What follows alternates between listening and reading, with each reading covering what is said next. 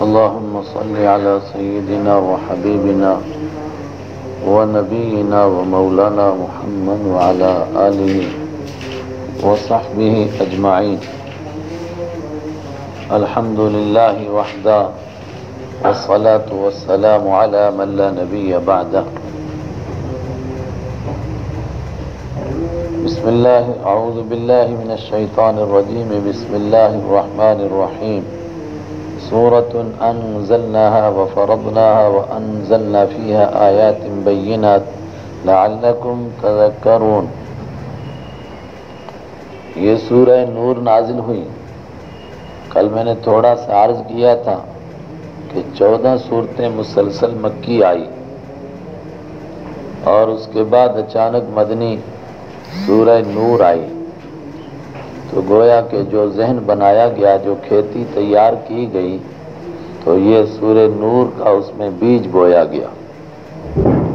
और इस सूरत के आखिर में बार बार कहा जाएगा कि अब पता चलेगा कि किसका आखरत पर ईमान है और किसका नहीं है।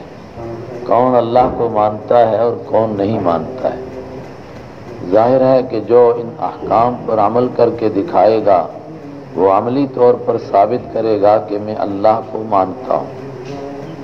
और जो इन अहकाम पर अमल नहीं करेगा तो ये अमल न करना उसके लिए खुद साबित कर देगा कि आखिरत को नहीं मानता है। सूरह नूर में बड़े सख्त अहकाम हैं माशरे को दुरुस्त रखने के लिए।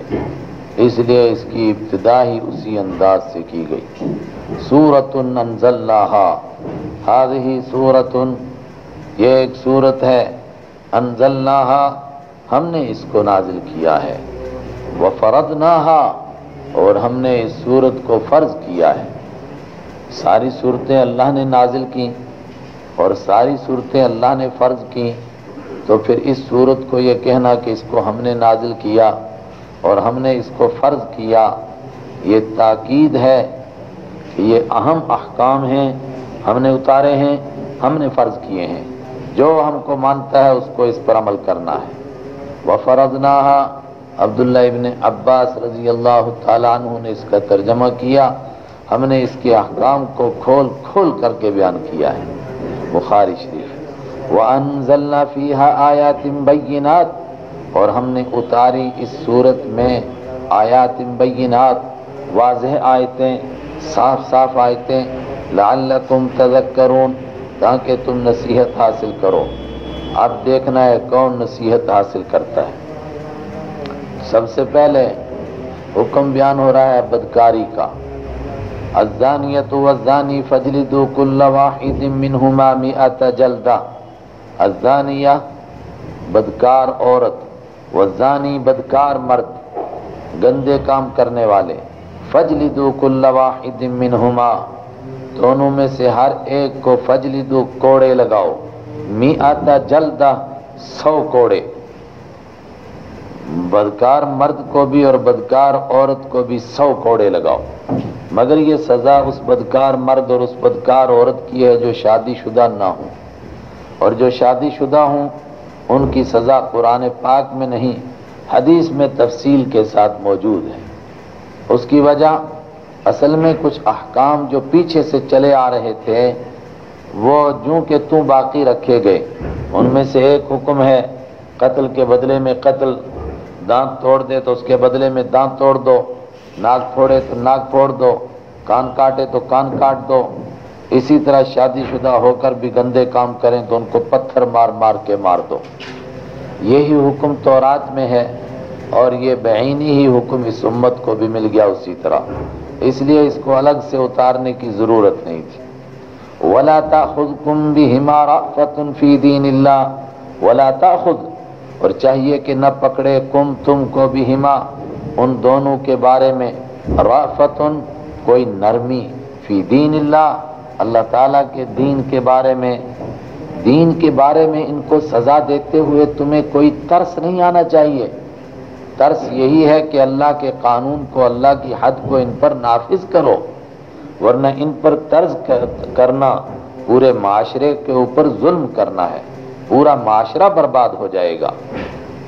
इन कुन तुम तुमिनून बिल्ला अगर तुम अल्लाह पर ईमान रखते हो वल यौमिल आखिर और आखिरत के दिन पर ईमान रखते हो तो ऐसे लोगों पर तरस मत करो।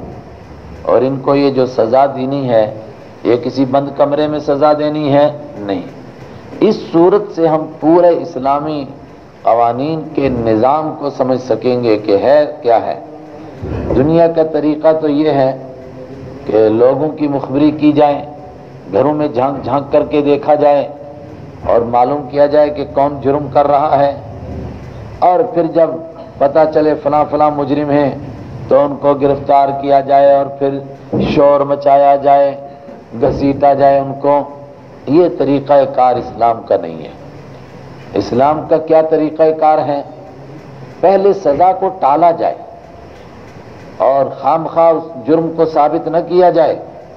चुनाचे आ रहा है आगे कि तीन आदमी मौजूद हैं और उन्होंने कह दिया कि फला आदमी बदकार है। अगर उनके पास चौथा नहीं तो इन तीनों को अस्सी अस्सी कोड़े मारो। अस्सी अस्सी डंडे लगाओ। जबान कैसे खोली तुमने? मकसद क्या है कि इन चीज़ों का चर्चा ना हो, इनका तस्करा ना हो। अगर तस्करा होगा तो गंदी बातें फैलेंगी और माशरा गंदा होगा। इससे माशरे की इसलाह नहीं होगी। जबान तब खोली जाए, जब बात हदों को क्रास हो जाए। और जब जुर्म को साबित किया जा सके और जब जुर्म साबित होगा तो फिर सजा वो भयानक सजा दी जाए कि जिस सजा की वजह से पूरी दुनिया के रोंगटे खड़े हो जाएँ, सब घबरा जाएँ कि बड़ी सख्त सजा है भाई।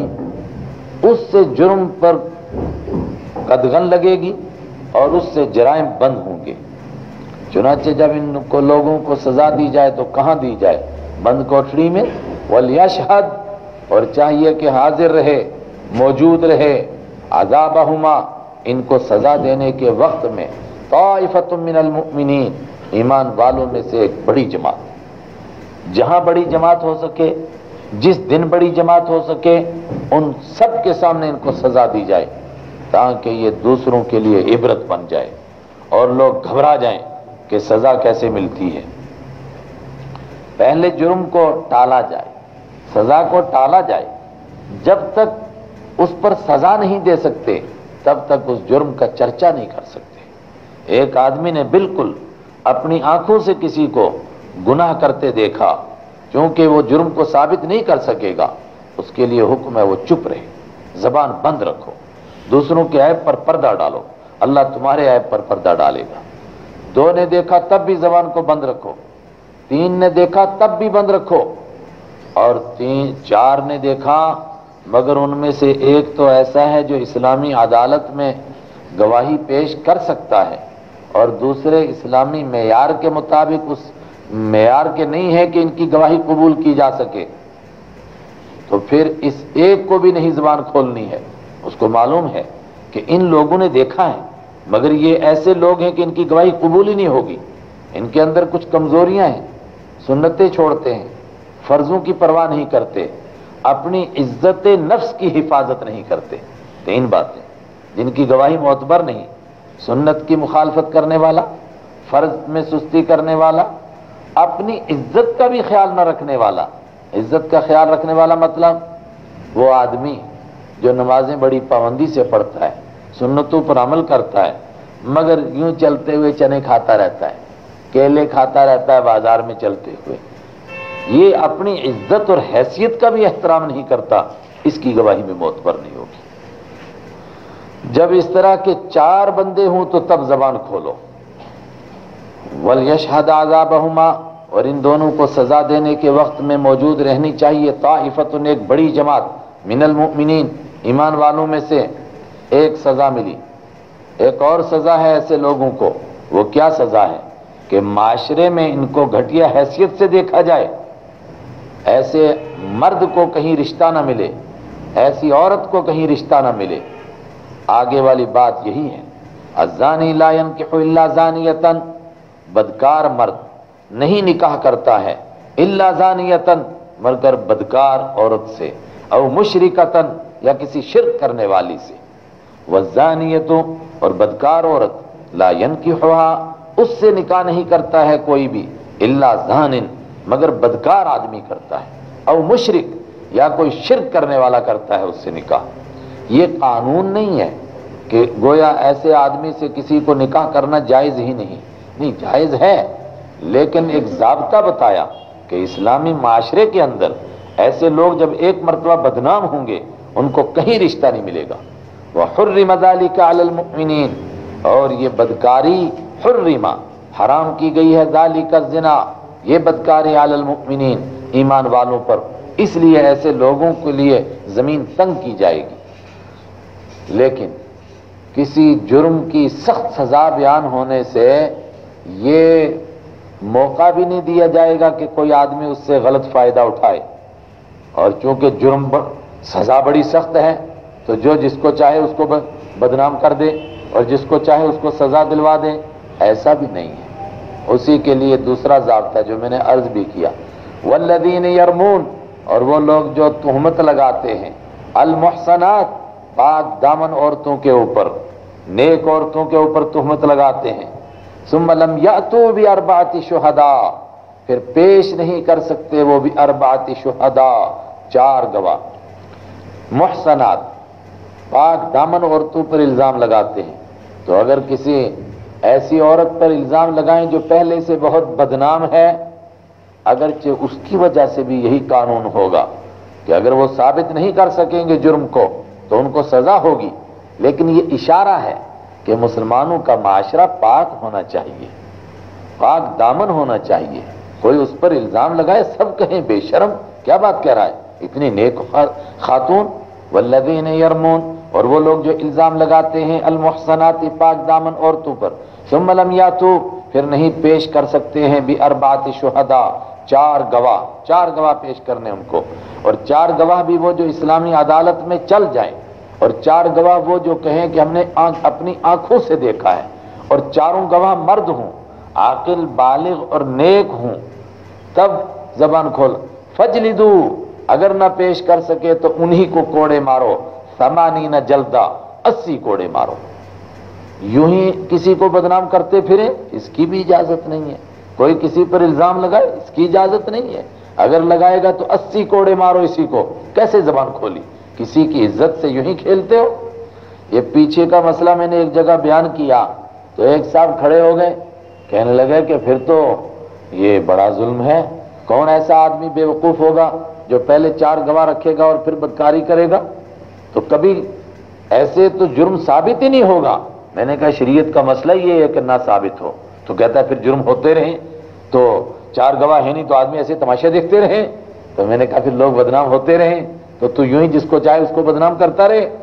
बाद में शोर में चाह कहने लगे, है ही ऐसा बदबख्त आदमी कि जिसको चाहता उसको ही बदनाम करता है बिरादरी में और फिर उल्टे सीधे फैसले करता रहता है। वल्ल मैंने कहा, इसको अस्सी कोड़े मारो। तो उस दिन से जबान बंद उसकी। वल्लदीन यरमून अलमहसनात और वो लोग जो इल्ज़ाम लगाते हैं पाक दामन औरतों पर समलम या तो भी अरबाती शुहदा, फिर पेश नहीं कर सकते हैं चार गवाह मर्द। ये मर्द का लफ्ज कहाँ से कह रहा हूँ? ये अरबी ग्रामर से साबित हुआ, अरबाती। अगर औरत होती है, उस पर होता है अरबा, और यह है अरबाती। चार गवाह नहीं पेश कर सकता। फजली दो हम कोड़े मारो इनको, समानी न जल्दा। अस्सी कोड़े, एक सजा, दूसरी सजा। वला तकबल शहादतन अबदा। और मत कबूल करो इनकी गवाही को कभी भी। ये रजिस्टर्ड झूठे हो गए। अब कभी इनकी गवाही नहीं मौत पर। उलाफासिकून ये हैं वो लोग जो फर्मा बरदारी से निकलने वाले हैं। ये तीसरी सजा। इनको फासिक कहा गया। इल्लदीन ताबू। मगर वो लोग जो तोबा कर लें, सच्ची तोबा कर ली। मिन बाद का इसके बाद। किसके बाद किसी पर इल्ज़ाम लगाया, उसके बाद तोबा कर ली वह असलहू, और अपना हाल दुरुस्त कर लिया। फ़ैन अल्लाह गफूर रहीम। तो अल्लाह ताला बेशक बख्शने वाला, रहम करने वाला है। तो अल्लाह माफ़ करने वाला और रहम करने वाला है तो इसका मतलब ऊपर की तीन सजाएँ थी तो वो माफ़ हो गई? नहीं। सबसे आखिरी सजा माफ़ हुई। कौन सी? कि ये बंदा अब फासिक नहीं है। अब तोबा कर ली है। उम्मीद करेंगे कि इंशाल्लाह ये जन्नत में जाएगा। और पहली सजा कि किसी पर इल्ज़ाम लगाया और इल्ज़ाम लगाने के बाद पकड़ा गया और कहा कि कैसे तूने जबान खोली जब तेरे पास चार गवाह नहीं थे? कहने लगा जनाब तोबा। अब कभी नहीं किसी पर इल्ज़ाम। अब तोबा कहने से इल्ज़ाम से नहीं बचेगा। वो तो हर आदमी कह देगा चोर भी कह देगा जनाब तोबा तोबा तोबा। अब कभी तो, चोरी नहीं करूँगा। नहीं। तोबा करने से दुनिया की सजा माफ़ नहीं होगी आखरत की माफ़ होगी। एक बीच की बात रह गई। कि ऐसे लोगों की कभी गवाह, गवाही कबूल नहीं की जाए। तो क्या तोबा करने से आइंदा उनकी गवाही कबूल की जाएगी?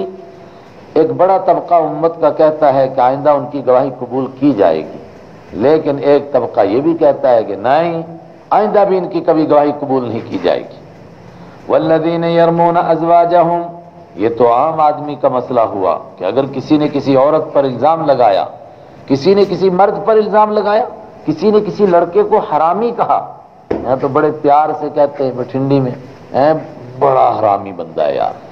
है, प्यार से कहते हैं यहाँ, ये गाली नहीं शुमार होती हमारे गाँव में। बड़ो हरामी बंदो है हरामी है। अगर किसी को हरामी कहा, उसको चार गवाहों से साबित करना है कि यह हराम का है। और अगर नहीं साबित कर सका तो उसको वही अस्सी कोड़े लगाए जाएँगे। अस्सी डंडे लगेंगे। और इन अस्सी कोड़ों के बीच में मर गया तो मर गया। कोई उसका पुरसान हाल नहीं। हाँ अगर बच गया तो ठीक है, बच गया।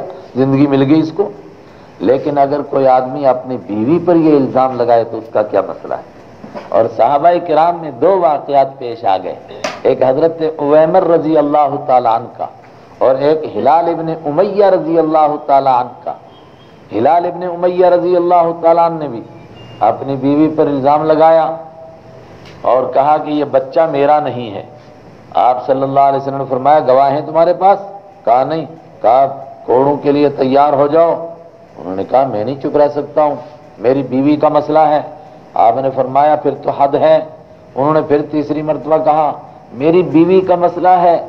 हद लगे, कुछ भी लगे, मगर मैं चुप कैसे रहूँ? घर का मामला है। मैं नहीं जबान बंद रख सकता हूँ। उसके बाद ये आयत नाजिल हुई कि नहीं। अगर कोई अपनी बीवी पर इल्ज़ाम लगाए तो उसका मसला दूसरा है। और हज़रत ओवैमर रज़ी अल्लाह ने बच्चे का इनकार नहीं किया था। उन्होंने एक दूसरे सहाबी से अर्ज़ किया कि इस तरह अगर कोई अपने घर के अंदर किसी गैर मर्द को देखे तो वो क्या करे?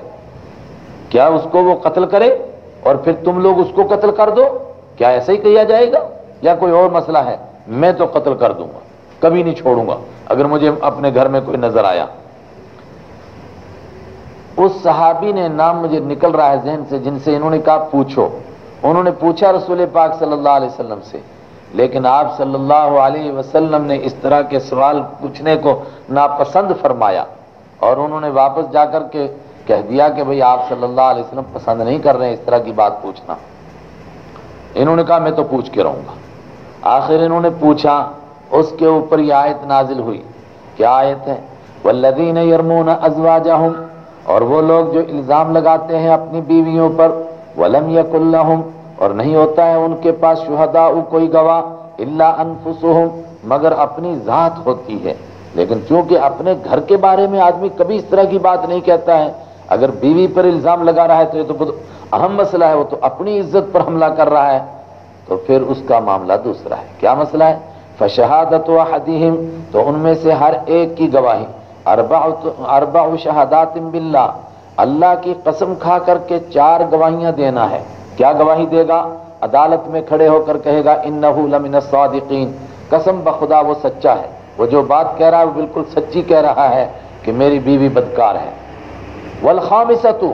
और चार गवाहियाँ तो इस तरह देगा, और फिर उसको काजी रोकेगा। सोच, क्या बोल रहा है? फिर पांचवी मरतबा कहेगा, वल खामिसतु और पांचवी ये गवाही देगा कि अल्लाह की उस पर लानत हो, इन कान मिनल काजिबीन। अगर वो झूठ बोल रहा है और बीवी पर खाम खा इल्ज़ाम लगा रहा है तो खुदा की इस पर लानत हो। ये उसने पाँच बातें कही, अगर इतनी ही बात कही और बीवी आगे से चुप हो गई और बीवी ने इकरार कर लिया तो फिर तो उसको सजा लगेगी, उसको तो रजम किया जाएगा। लेकिन अगर बीवी चुप नहीं रही, उसने कहा झूठ बोल रहा है तो फिर उसका भी तरीका है। वयदरा अनहल अजाबा, और हट जाएगी अनहा, उस औरत से अल अजाब सजा अंतशहदा ये बात हटा देगी उससे अजाब को, ये बात, कौन सी बात? अंतशहदा कि वो गवाही दे अरबा शहादात बिल्ला चार गवाहियाँ अल्लाह का नाम लेकर इन लमिनल कादिबीन कि बेशक वो मेरा शोहर झूठ बोल रहा है। वल खामिसता, और जब वो चार मरतबा कह लेगी तो फिर उसको काजी रोकेगा। क्या कह रही है? सोच। तो पांचवी मरतबा क्या कहेगी? अन्न गजब अल्लाह कि खुदा का कहर नाजिल हो उस औरत के ऊपर। इनका नमिन सादिकीन, अगर उसका शोहर सच्चा है तो उस औरत पर खुदा का कहर नाजिल हो। वलौला फजल ये जब पांचवी मरतबा कहेगी तो इससे आजाब हट जाएगा। चुनाचे यही हुआ, हज़रत उवैमर रज़ी अल्लाह तहु को बुलाया गया। उन्होंने यही पाँच गवाहियाँ दी। उसके बाद उनकी बीवी को बुलाया गया। उन्होंने भी यही पाँच गवाही दे दी। बात दोनों तरफ़ से हो गई। तो आप सल्लल्लाहु अलैहि वसल्लम खामोश थे। हज़रत उमर ने कहा कि चूँकि अब मामला यहाँ तक पहुँच गया है, अब अगर मैं इस औरत को अपने घर में रखूँगा तो चूँकि नफरत हो गई है तो मैं इस पर जुल्म करूँगा। इसलिए मैं चाहता हूँ कि तलाक दे दूँ। ये भी आज़ादी से, ज़िंदगी गुजारे, मैं भी आज़ादी से गुजारूं। उसकी वजह से फिर ये इख्तलाफ हुआ उम्मत में कि ये किस तरह करने से निकाह टूट गया कि बाकी रहा। एक तबका कहता है कि नहीं, फिर मर्द को मजबूर किया जाएगा कि तू तलाक दे। और अहनाफ कहते हैं कि नहीं, ऐसा करने से ही निकाह टूट गया। अब निकाह टूट गया, दोनों में जुदाई हो गई।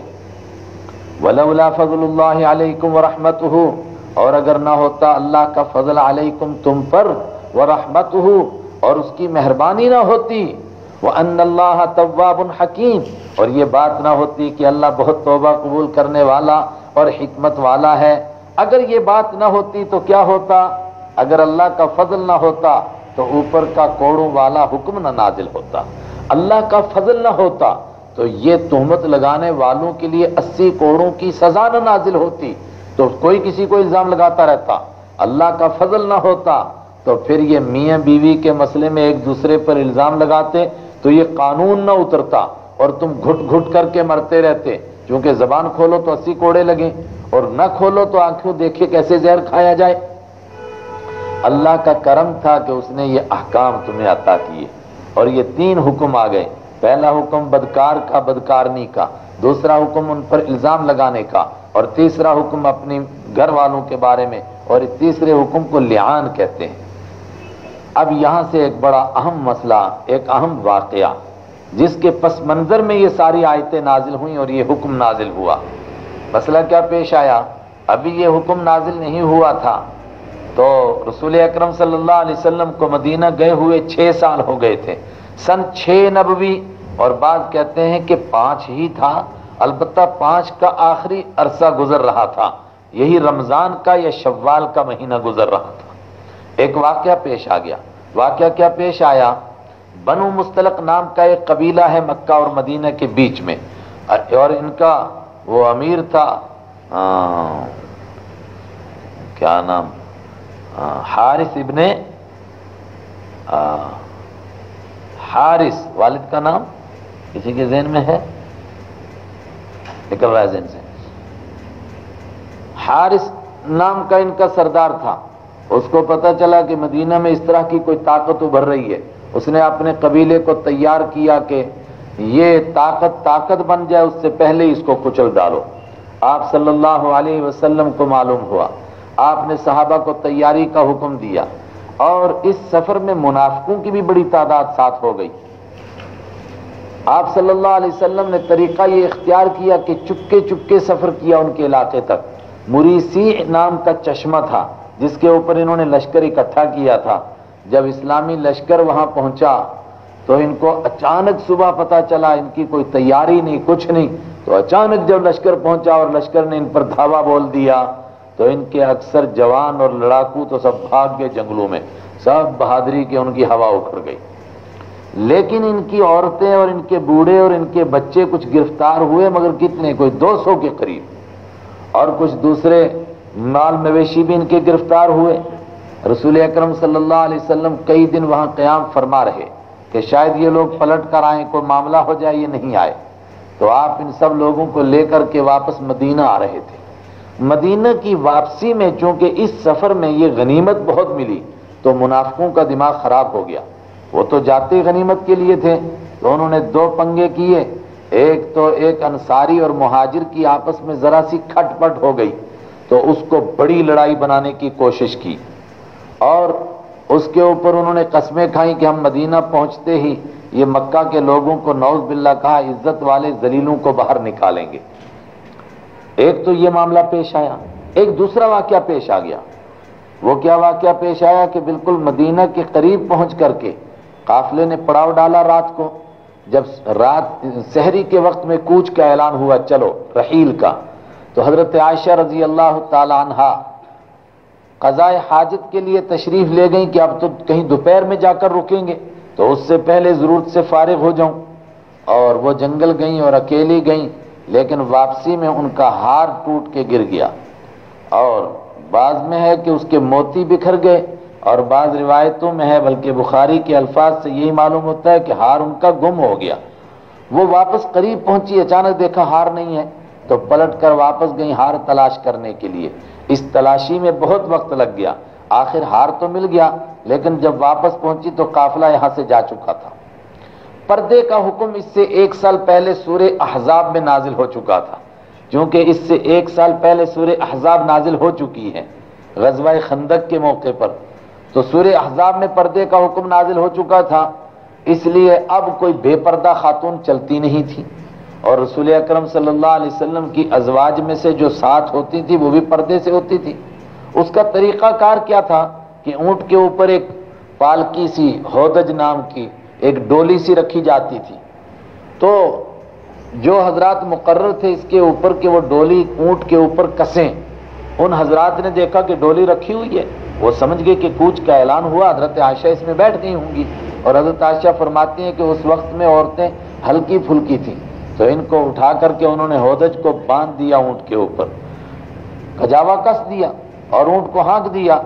उनके जहन में यही है कि हज़रत आयशा मौजूद है इसके अंदर। लेकिन हज़रत आयशा तो मौजूद नहीं है। हज़रत आयशा फरमाती है, मैं उस वक्त में छोटी उम्र की थी, लेकिन जब मैं वापस आई तो मैंने सोचा कि अगर मैं काफिले के पीछे दौड़ूँगी तो मुमकिन है कि काफिला कहीं और निकल जाए और मैं कहीं और निकल जाऊँ। बेहतर यह है कि मैं यहीं आराम करूँ। तो वहीं लेट गई, ताकि जब भी पड़ाव डालेंगे और देखेंगे रसूल पाक सल्लल्लाहु अलैहि वसल्लम, होदज को तो मैं नहीं होंगी तो वापस पलटेंगे मेरी तलाश में। चुनाचे फरमाती हैं कि मैं जैसी बैठी थी, मगर गलबत आलिया मुझ पर नींद गालिब आ गई और मैं सो गई। हज़रत आशा रज़ी अल्लाह तला की आँख लग गई। इधर एक सहाबी हैं सफ़ान इबन मोतल रज़ी अल्लाह तला उनका काम है कि काफिले के पीछे चलें और गिरी गिरी पड़ी चीज़ को उठाएँ। वो काफिले के कूच करने के बाद तकरीबन सुबह के करीब यहाँ पहुँचे। तो उन्होंने देखा कि कोई लकड़ी सी पड़ी हुई है, करीब जाकर, और जितने करीब हुए तो लगा ही तो कोई इंसान का जुस्सा है। और करीब हुए तो सोते हुए हज़रत आयशा रज़ी अल्लाह तहा के चेहरे से कपड़ा हट गया था, इसलिए चेहरा नंगा था तो उन्होंने एकदम पहचान लिया उनको। और हज़रत आयशा फरमाती हैं, बुखारी की रिवायत है, इसलिए पहचाना, चूँकि उन्होंने मुझे पर्दे के हुक्म के नाजिल होने के बाद देखा था, पर्दे के हुक्म से पहले देखा था, बाद में कभी देखा नहीं था। पर्दे के हुक्म से पहले देखा था, इसका मतलब कि पर्दे के हुक्म के बाद किसी औरत को किसी मर्द ने, अब बताओ ये सूर्य नूर हमारे यहाँ नाजिल हुई, अभी उतरी नहीं बिचारी। हंसने की बात नहीं, रोने की है। जिस कुरान में नमाज़ को, का हुक्म है फ़र्ज़ का, उसी में इस पर्दे का हुक्म भी है। और भारी तादाद मुसलमानों की वो है जो समझती है कि इसकी ज़रूरत ही नहीं है, ये यूँ ही खाम खा की बात है। और अगर कोई कुरान के हुक्म को न माने तो काफिर है पक्का। कल पढ़ चुके सुर मायदा में कि कुछ दिन को माने, कहते रोज़े रखूँगा, नमाज़ पढ़ूँगा, जक़ात दूँगा, मगर पर्दा नहीं करवाऊँगा। उलाई कहमुल काफिरून हक्का, ये पक्के काफिर है। अल्लाह बचाए, क्या हो रहा है कहते हैं, मुसलमान बड़े परेशान है, कौन है मुसलमान? किसको कहते हैं मुसलमान? फरमाती हैं, हज़रत आयशा और बुखारी की रिवायत है, फरमाया कि जैसे उन्होंने मुझे देखा तो ज़ोर से पढ़ा इन्ना लिल्लाहि व इन्ना इलैहि राजिऊन। तो मैंने फ़ौरन अपनी चादर अपने ऊपर डाल ली फगम्बर तो वजही। मैंने अपने चेहरे को बड़ी चादर से छुपा लिया। मालूम हुआ कि चेहरे का पर्दा था, चेहरा खुला हुआ नहीं रखते थे। अब एक बेईमानों की ऐसी पार्टी तैयार होगी, वो कहती है कि चेहरे का पर्दा है ही नहीं। फिर पर्दा है किस चीज़ का भाई? आगे आ रहा है, एक लिस्ट पेश की जाएगी कि इन मर्दों से पर्दा नहीं है, बाप से नहीं है, भाई से नहीं है, भतीजे से नहीं, भांजे से नहीं, इनसे पर्दा नहीं। अच्छा चेहरे का पर्दा आप कहते हैं, है ही नहीं है। तो और किस चीज़ का पर्दा इनसे नहीं है और लोगों से है? क्या बाकी लोगों के सामने नंगी नहीं हो सकती? इनके सामने नंगी हो जाती है। क्या बेवकूफ़ी? कितना जुल्म। ये एक बड़ी बेईमानों का पार्टी तैयार हुई। ये बड़े जालिम है। एक वो तबका जो कहे कि पर्दा फ़र्ज़ है, मगर न करे। चलो, वो उसकी कमज़ोरी है। कहते हैं, भाई, हमारे माशरे में नहीं। तो ये मान रहा है, मगर अमल नहीं कर पा रहा है। ये काफिर नहीं है। लेकिन जो इनकार कर देगा, वो गया दीन से। पैगंबर तो वजही, मैंने अपने चेहरे को छुपाया। फरमाते हैं, फमा काल अली शैया उन्होंने मुझसे कुछ नहीं कहा। मैंने उनसे, वमा कुल तलो कली वमा काल अली कली मतन उन्होंने मुझसे कोई बात नहीं की, बस अपना ऊँट बिठाया और उसके पाँव के ऊपर अपना पाँव रखा। तो मैं समझ गई मुझे बैठने के लिए कह रहे हैं। तो मैंने अच्छी तरह पर्दा किया, मैं ऊँट पर बैठ गई उन्होंने लगाम पकड़ ली। और हम दोपहर के वक्त में पहुँचे, जिस वक्त में काफिला अभी उतर ही रहा था। क्योंकि वो आहिस्ता चले, ये तेज़ी से चले तो काफिला उतर रहा था तो हम पहुँच गए। फरमाया, हम बैठ के कोई मसला नहीं, बात खत्म हो गई। किसी को, जहन में भी कोई बात नहीं आई। अब्दुल्ला इबन उबई मुनाफिक को मदीना जाकर के पता चला। उसने कहा, यार, इतना बहुत बेहतर मौका मिला था मुसलमानों को बदनाम करने का और तुमने जाया कर दिया। तो उसने फिर इसको ऐसा नमक, मिर्च लगा करके और इस तरीके से फैलाना शुरू किया कि तीन पक्के सच्चे मुसलमान भी उसके चकमे में आ गए। चकमे में इस तरह नहीं आए कि उन्होंने कहा हो कि हाँ वाक्य हम भी गवाह हैं कि इन्होंने कोई गलत काम किया है। लेकिन उन्होंने कहा कि भाई, हम कुछ कह नहीं सकते हैं। क्या मालूम है, क्या हो गया है। रसूल अक्रम वसल्लम इसकी वजह से सख्त परेशान हुए। तीस दिन गुजर गए। तीस दिन के बाद आपने हज़रत अली रज़ी अल्लाह तन और हज़रत उसामा रज़ी अल्लाह तन को बुलाया इस मशवरे के लिए कि मैं अपने घर वालों हज़रत आयशा रज़ी अल्लाह तन को छोड़ दूँ या रख लूँ, रहने दूँ। इस बीच में हज़रत आयशा को क्यों नहीं पता चला? फरमाती हैं कि जैसी मैं मदीना पहुँची, पहुँचते ही बीमार हो गई और सख्त बीमार हुई। और रसूल पाक सल्लल्लाहु अलैहि वसल्लम मेरे पास आते थे, मगर सिर्फ़ सलाम अलैकुम कह करके कई फिया बस खैरियत पूछ करके आप वापस तशरीफ़ ले जाते थे तो मुझे शक तो हो रहा था कि कोई मसला ज़रूर है, मगर ऐसा मैं सोच भी नहीं सकती थी कि इतना बड़ा मामला खड़ा हो गया है। हज़रत उसामा रज़ी अल्लाह तहु ने बयान किया कि आप पाक हैं, आपके घर वाले पाक हैं, ऐसा कोई तस्वुर भी नहीं कर सकता है। लेकिन आपकी परेशानी को देखकर हज़रत अली रज़ी अल्लाह ने फरमाया कि अगर किस हज़रत आयशा के बारे में कोई बात पूछनी है तो उन तो उनकी खादिमा हज़रत बरीरा से पूछ लो। लेकिन आप परेशान न हो, औरतें तो बहुत हैं, और जगह भी आपका निकाह हो सकता है। अगर आप इनको तलाक दे देंगे, लेकिन उनकी पाक दामनी की गवाही लेनी हो तो उनकी खादिमा से पूछो। और खादिमा से आपने पूछा तो उन्होंने कहा कि ये तो मैं कह सकती हूँ कि हज़रत आशा भूली भाली हैं। कि आटा गूंदती हैं और गूंद करके सो जाती हैं, आकर बकरी खा जाती है। लेकिन किसी गंदी बात का तस्वुर भी आ सके, ये तो ज़मीन फट जाए, आसमान फट जाए, ये तो कोई सोच ही नहीं सकता है। इसी बीच में हज़रत आयशा फरमाती हैं कि तीस दिन के बाद मैं कज़ाए हाजत के लिए निकली एक रात को, और हम उस वक्त में रात ही को जाया करती थी, ताकि पर्दे के साथ जाएँ, कहीं जंगल में। और फरागत से वापस आए और फरमाती थी कि उस वक्त में अभी घर के अंदर बैतुलखला नहीं बने थे, टॉयलेट। लेकिन उनकी ज़िंदगी में ही बाद में बन गए थे। हमारे यहाँ तो अब कल परसों बनने शुरू हुए। ये चौदह सौ साल पुरानी बात कह रहा हूँ। उस वक्त में वो फरमाती हैं, यानी जब उन्होंने ये बयान किया तो उस वक्त में थे। तो वो फरमाती हैं कि उस दौर में लोग घरों के करीब बैतुलखला को पसंद नहीं करते थे। तो ये बैतुलखला के लिए गई। इनके साथ में एक सहाबी हज़रत मिस्ताह हैं। उनकी वालिदा भी थी। तो हज़रत मिस्ताह भी मुनाफकों के इस चकमे में आ गए थे। उन्होंने भी कह दिया था, भाई, क्या कहा जा सकता है? तो हज़रत मिस्ताह की वालदा, वो हज़रत अबू बकर रज़ी अल्लाह तु की खालाजाद बहन थी। तो गोया ये खालाजाद बहन के बेटे बांझे लगते थे। उनका पैर फिसला चादर में, वो फंसा चादर में तो वो फिसली। तो उनके मुँह से अचानक निकला तईसा मिस्ता मिस्ता मरे। तो हज़रत आशा ने कहा, तुझे क्या हो गया? अपने बेटे को गाली देती है और वो तो बद्र में शरीक होने वाले बदरी साहबी हैं और उनके लिए बदुआ कर रही है। उनका पैर फिर फिर, फंसा फिर उन्होंने यही कहा। फिर इसी तरह हुआ फिर यही कहा। उनकी माँ कह रही है देख लो नेक दिल कैसे लोग हैं। बेटा क्या कर रहा है माँ क्या कर रही है? तो हज़रत आशा ने कहा तो क्यों इसको बदवा दे रही है? कहा तू बड़ी सीधी लड़की है तुझे नहीं पता उसने क्या किया? मैंने पूछा क्या किया? कहा उसने तो ये ये फैलाया तेरे बारे में? और ये मुनाफों ने फैलाया हुआ तीस दिन से फैला, फैलाया जा रहा, तुम्हें मालूम ही नहीं। फरमाती हैं कि बस मुझे ऐसा लगा जैसे बिजली गिरी। मैं वापस आई। मैंने आप सल्लल्लाहु अलैहि वसल्लम से अपने मेके जाने की इजाज़त मांगी ताकि मैं माँ बाप से पूछ सक, घर पहुँची। अपनी वालदा से पूछा, लोग क्या कह रहे हैं? तो वालदा ने कहा कि, जो कोई ऐसी औरत होती है कि शोहर के नज़दीक अच्छी होती है, उनकी कुछ सोतने भी होती हैं तो इस तरह की बातें लोग फैलाते रहते हैं हसद की वजह से। तुम सब्र करो, अल्लाह बेहतर करेगा। कहने लगी कि, फस, मुझे क्या हुआ?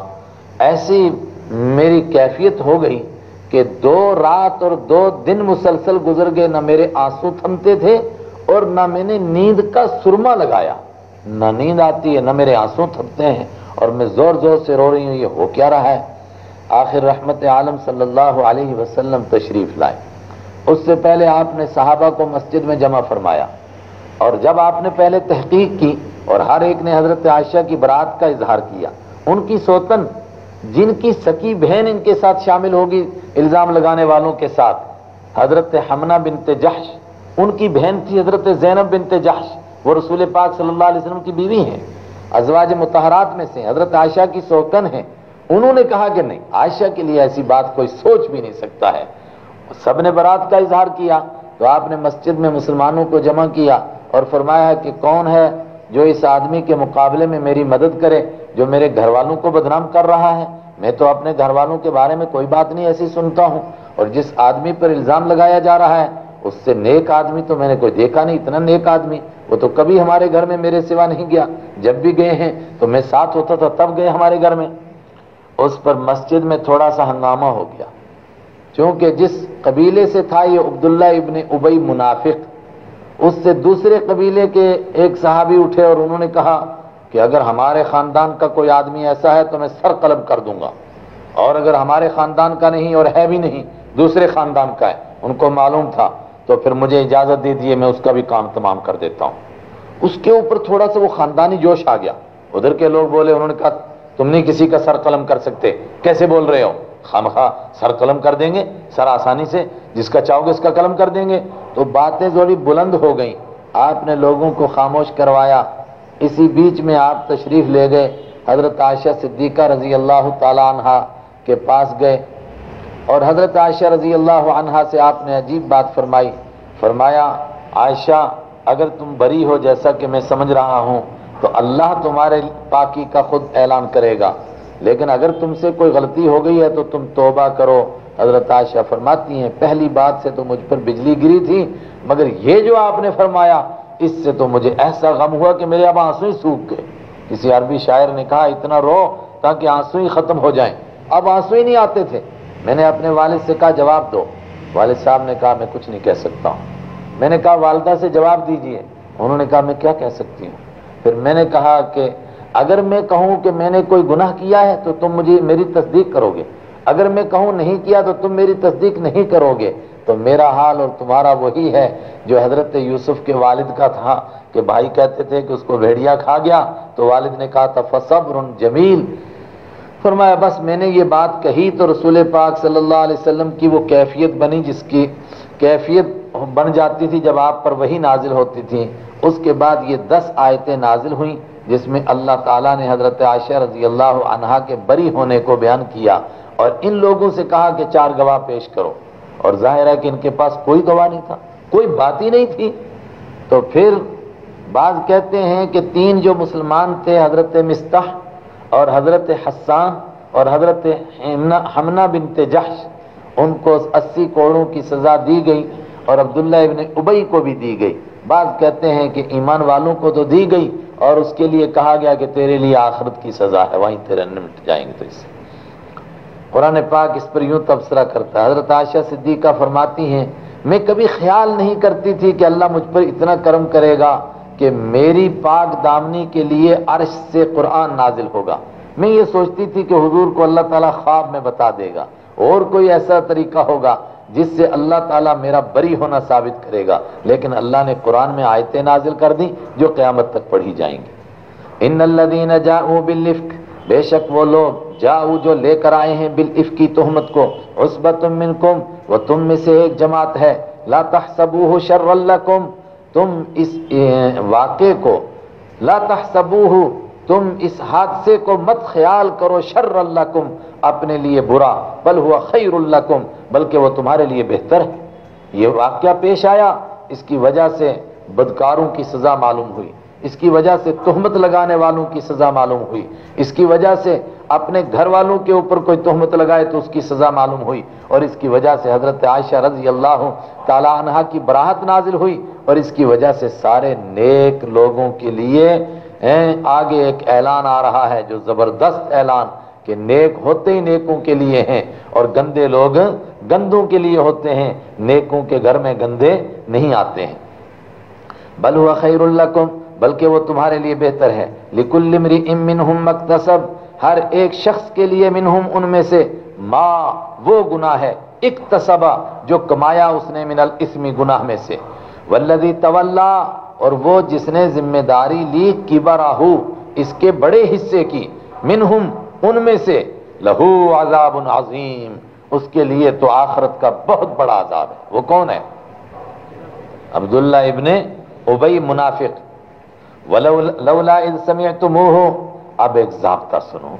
अगर आइंदा भी कभी किसी नेक ईमान वाले के लिए, ईमान वाले नेक ही हैं, किसी ईमान वाले के लिए जो ईमान के तकाजों पर चल रहा है, अगर मुसलमान ऐसी बात सुने तो मुसलमानों को क्या करना चाहिए? हैं, आज तो यही कि उसका तबसरा करो, चर्चे करो, अखबारों में डालो, फैलाओ। लवला समय तुम हो क्यों नहीं ये बात हुई? इध समय तुम हो जब तुमने इस बात को सुना था, जन्ना, क्यों नहीं गुमान किया? अलमुमिनून ईमान वाले मर्दों ने वलमुमिनातु ईमान वाली औरतों ने भी अनफुसिहिम, अपने बारे में खैरन, नेकी का। अपने बारे में, अपने से मुराद, अपने ईमान वाले भाई और ईमान वाली बहन के बारे में नेकी का ख्याल क्यों नहीं किया? वकालू हादा बुहतान मुबीन, और वकालू हादा इफ्क मुबीन, और क्यों नहीं कहा उन्होंने, हादा इफ्क मुबीन? ये बहुत बड़ा इल्ज़ाम है, ये बहुत बड़ा झूठ है। इफ्क के माना ऐसा झूठ जिसके कोई सर पैर ही ना हो, जिसको हम क्या कहते हैं, सफ़ेद झूठ। ये तो सफ़ेद झूठ है, खुल्लम खुल्ला झूठ। लौला जाऊ क्यों नहीं लाए वो? अले ही इस पर। भी अरबाती शुहदा, चार गवाह। फइदलम या तू तो जब नहीं ला सके वो विश्वहदाई गवाह।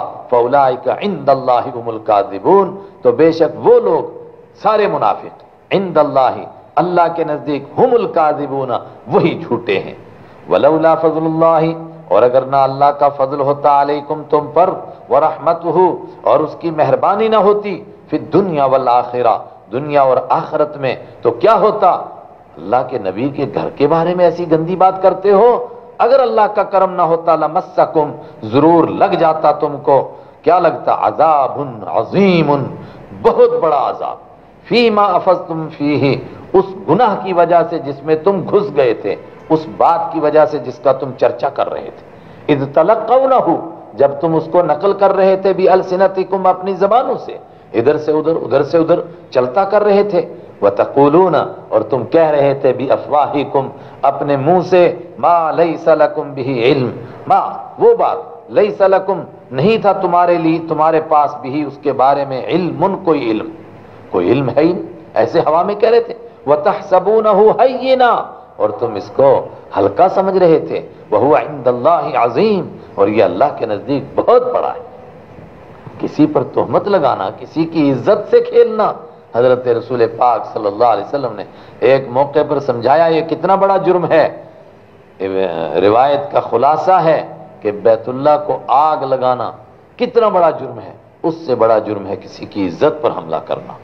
वलौला इद समय तुम हो और क्यों नहीं ये बात हुई? ईद समय तुम हो जब तुमने इसको सुना था, कुल तुम तुमने क्यों नहीं कहा, मा यकून लना, नहीं मुनासिब है लना हमारे लिए, अन्न तकल्लमा, कि हम बात करें भी हाजा इसके बारे में। सुबहान का अल्लाह, तू पाक है। हाजा बुहतान अजीम, ये बहुत बड़ा बुहतान है। यजुकुमुल्ला अल्लाह तुमको वाज करता है, अल्लाह तुमको नसीहत करता है, अल्लाह तुम्हें समझा रहा है। अंतउदू ही अबदा अंतउदू कि तुम लौटो लिमिसली ही इस जैसी बातों के लिए आबादन कभी भी, अब क्यामत तक कभी इस तरह की बातें दोबारा नहीं आनी चाहिए। इनकुन तुम मोमिन अगर तुम ईमान वाले हो वयुबैनकुमुल आयात, और अल्लाह खोल खोल कर बयान करता है तुम्हारे लिए अल आयाती अहकाम को, आयतों को, वल्लाह अलीम। अल्लाह बयान करता है, इसलिए कि अल्लाह जानने वाला है। और जो कुछ बयान करता है, अल्लाह के जो भी हुक्म होते हैं हकीम वो हिकमत वाले होते हैं, इसलिए कि अल्लाह हिकमत वाला है। और जो लोग इस तरह की बातों का चर्चा करते हैं, जरा सी एक बात आई, फट अखबार में डाल दी। हैं, आजकल कहते हैं सोशल मीडिया में, और क्या है समझते हैं कि हमने बड़ा नेकी का काम किया, हमने उसको फैलाया, ताकि आदमी को पता चले, बदनाम हो जाए वो। आदमी बदनाम होता है इससे इससे बुराई फैलती है। हज़ारों बच्चे और बच्चियाँ पढ़ के उनके दिलों के अंदर गंदी बातें आने लगती हैं, और गंदी बातें उनके अंदर अंगड़ाई लेने लगती हैं, उनको भी जहन में आता है कि हमें भी ऐसे गंदे काम करने चाहिए।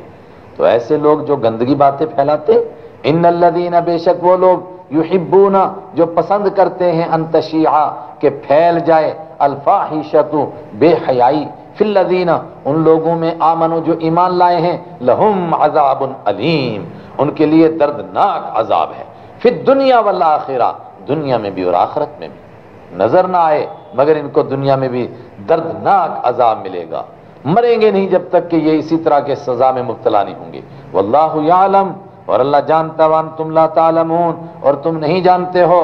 वला फजल्लाकुम और अल्लाह का फजल अगर ना होता अलैकुम तुम पर, व रहमत और उसकी मेहरबानी ना होती, व अल्लाह और ये बात ना होती कि अल्लाह ताला रऊफ़ुन बहुत नरमी करने वाला है, रहीमुन बहुत मेहरबानी करने वाला है।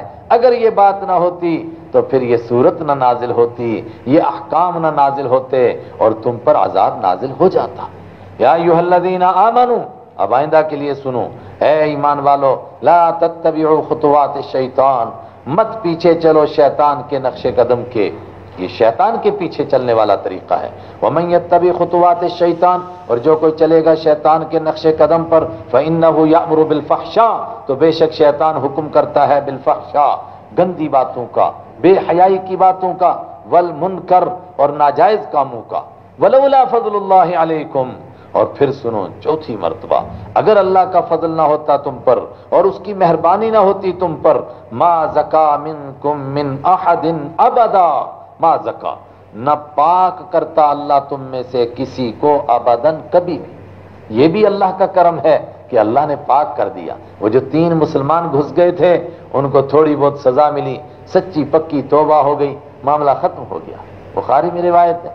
हज़रत हसान रज़ी अल्लाह आखिरी मौके पर हज़रत आशा रज़ी अल्लाह तहा के पास इजाज़त मांगी आने के लिए तो कुछ लोगों ने उस वक्त में भी ये बातें याद दिलाई। तो हज़रत आशा रज़ी अल्लाह तह ने फरमाया, नहीं, तोबा करने वाला है।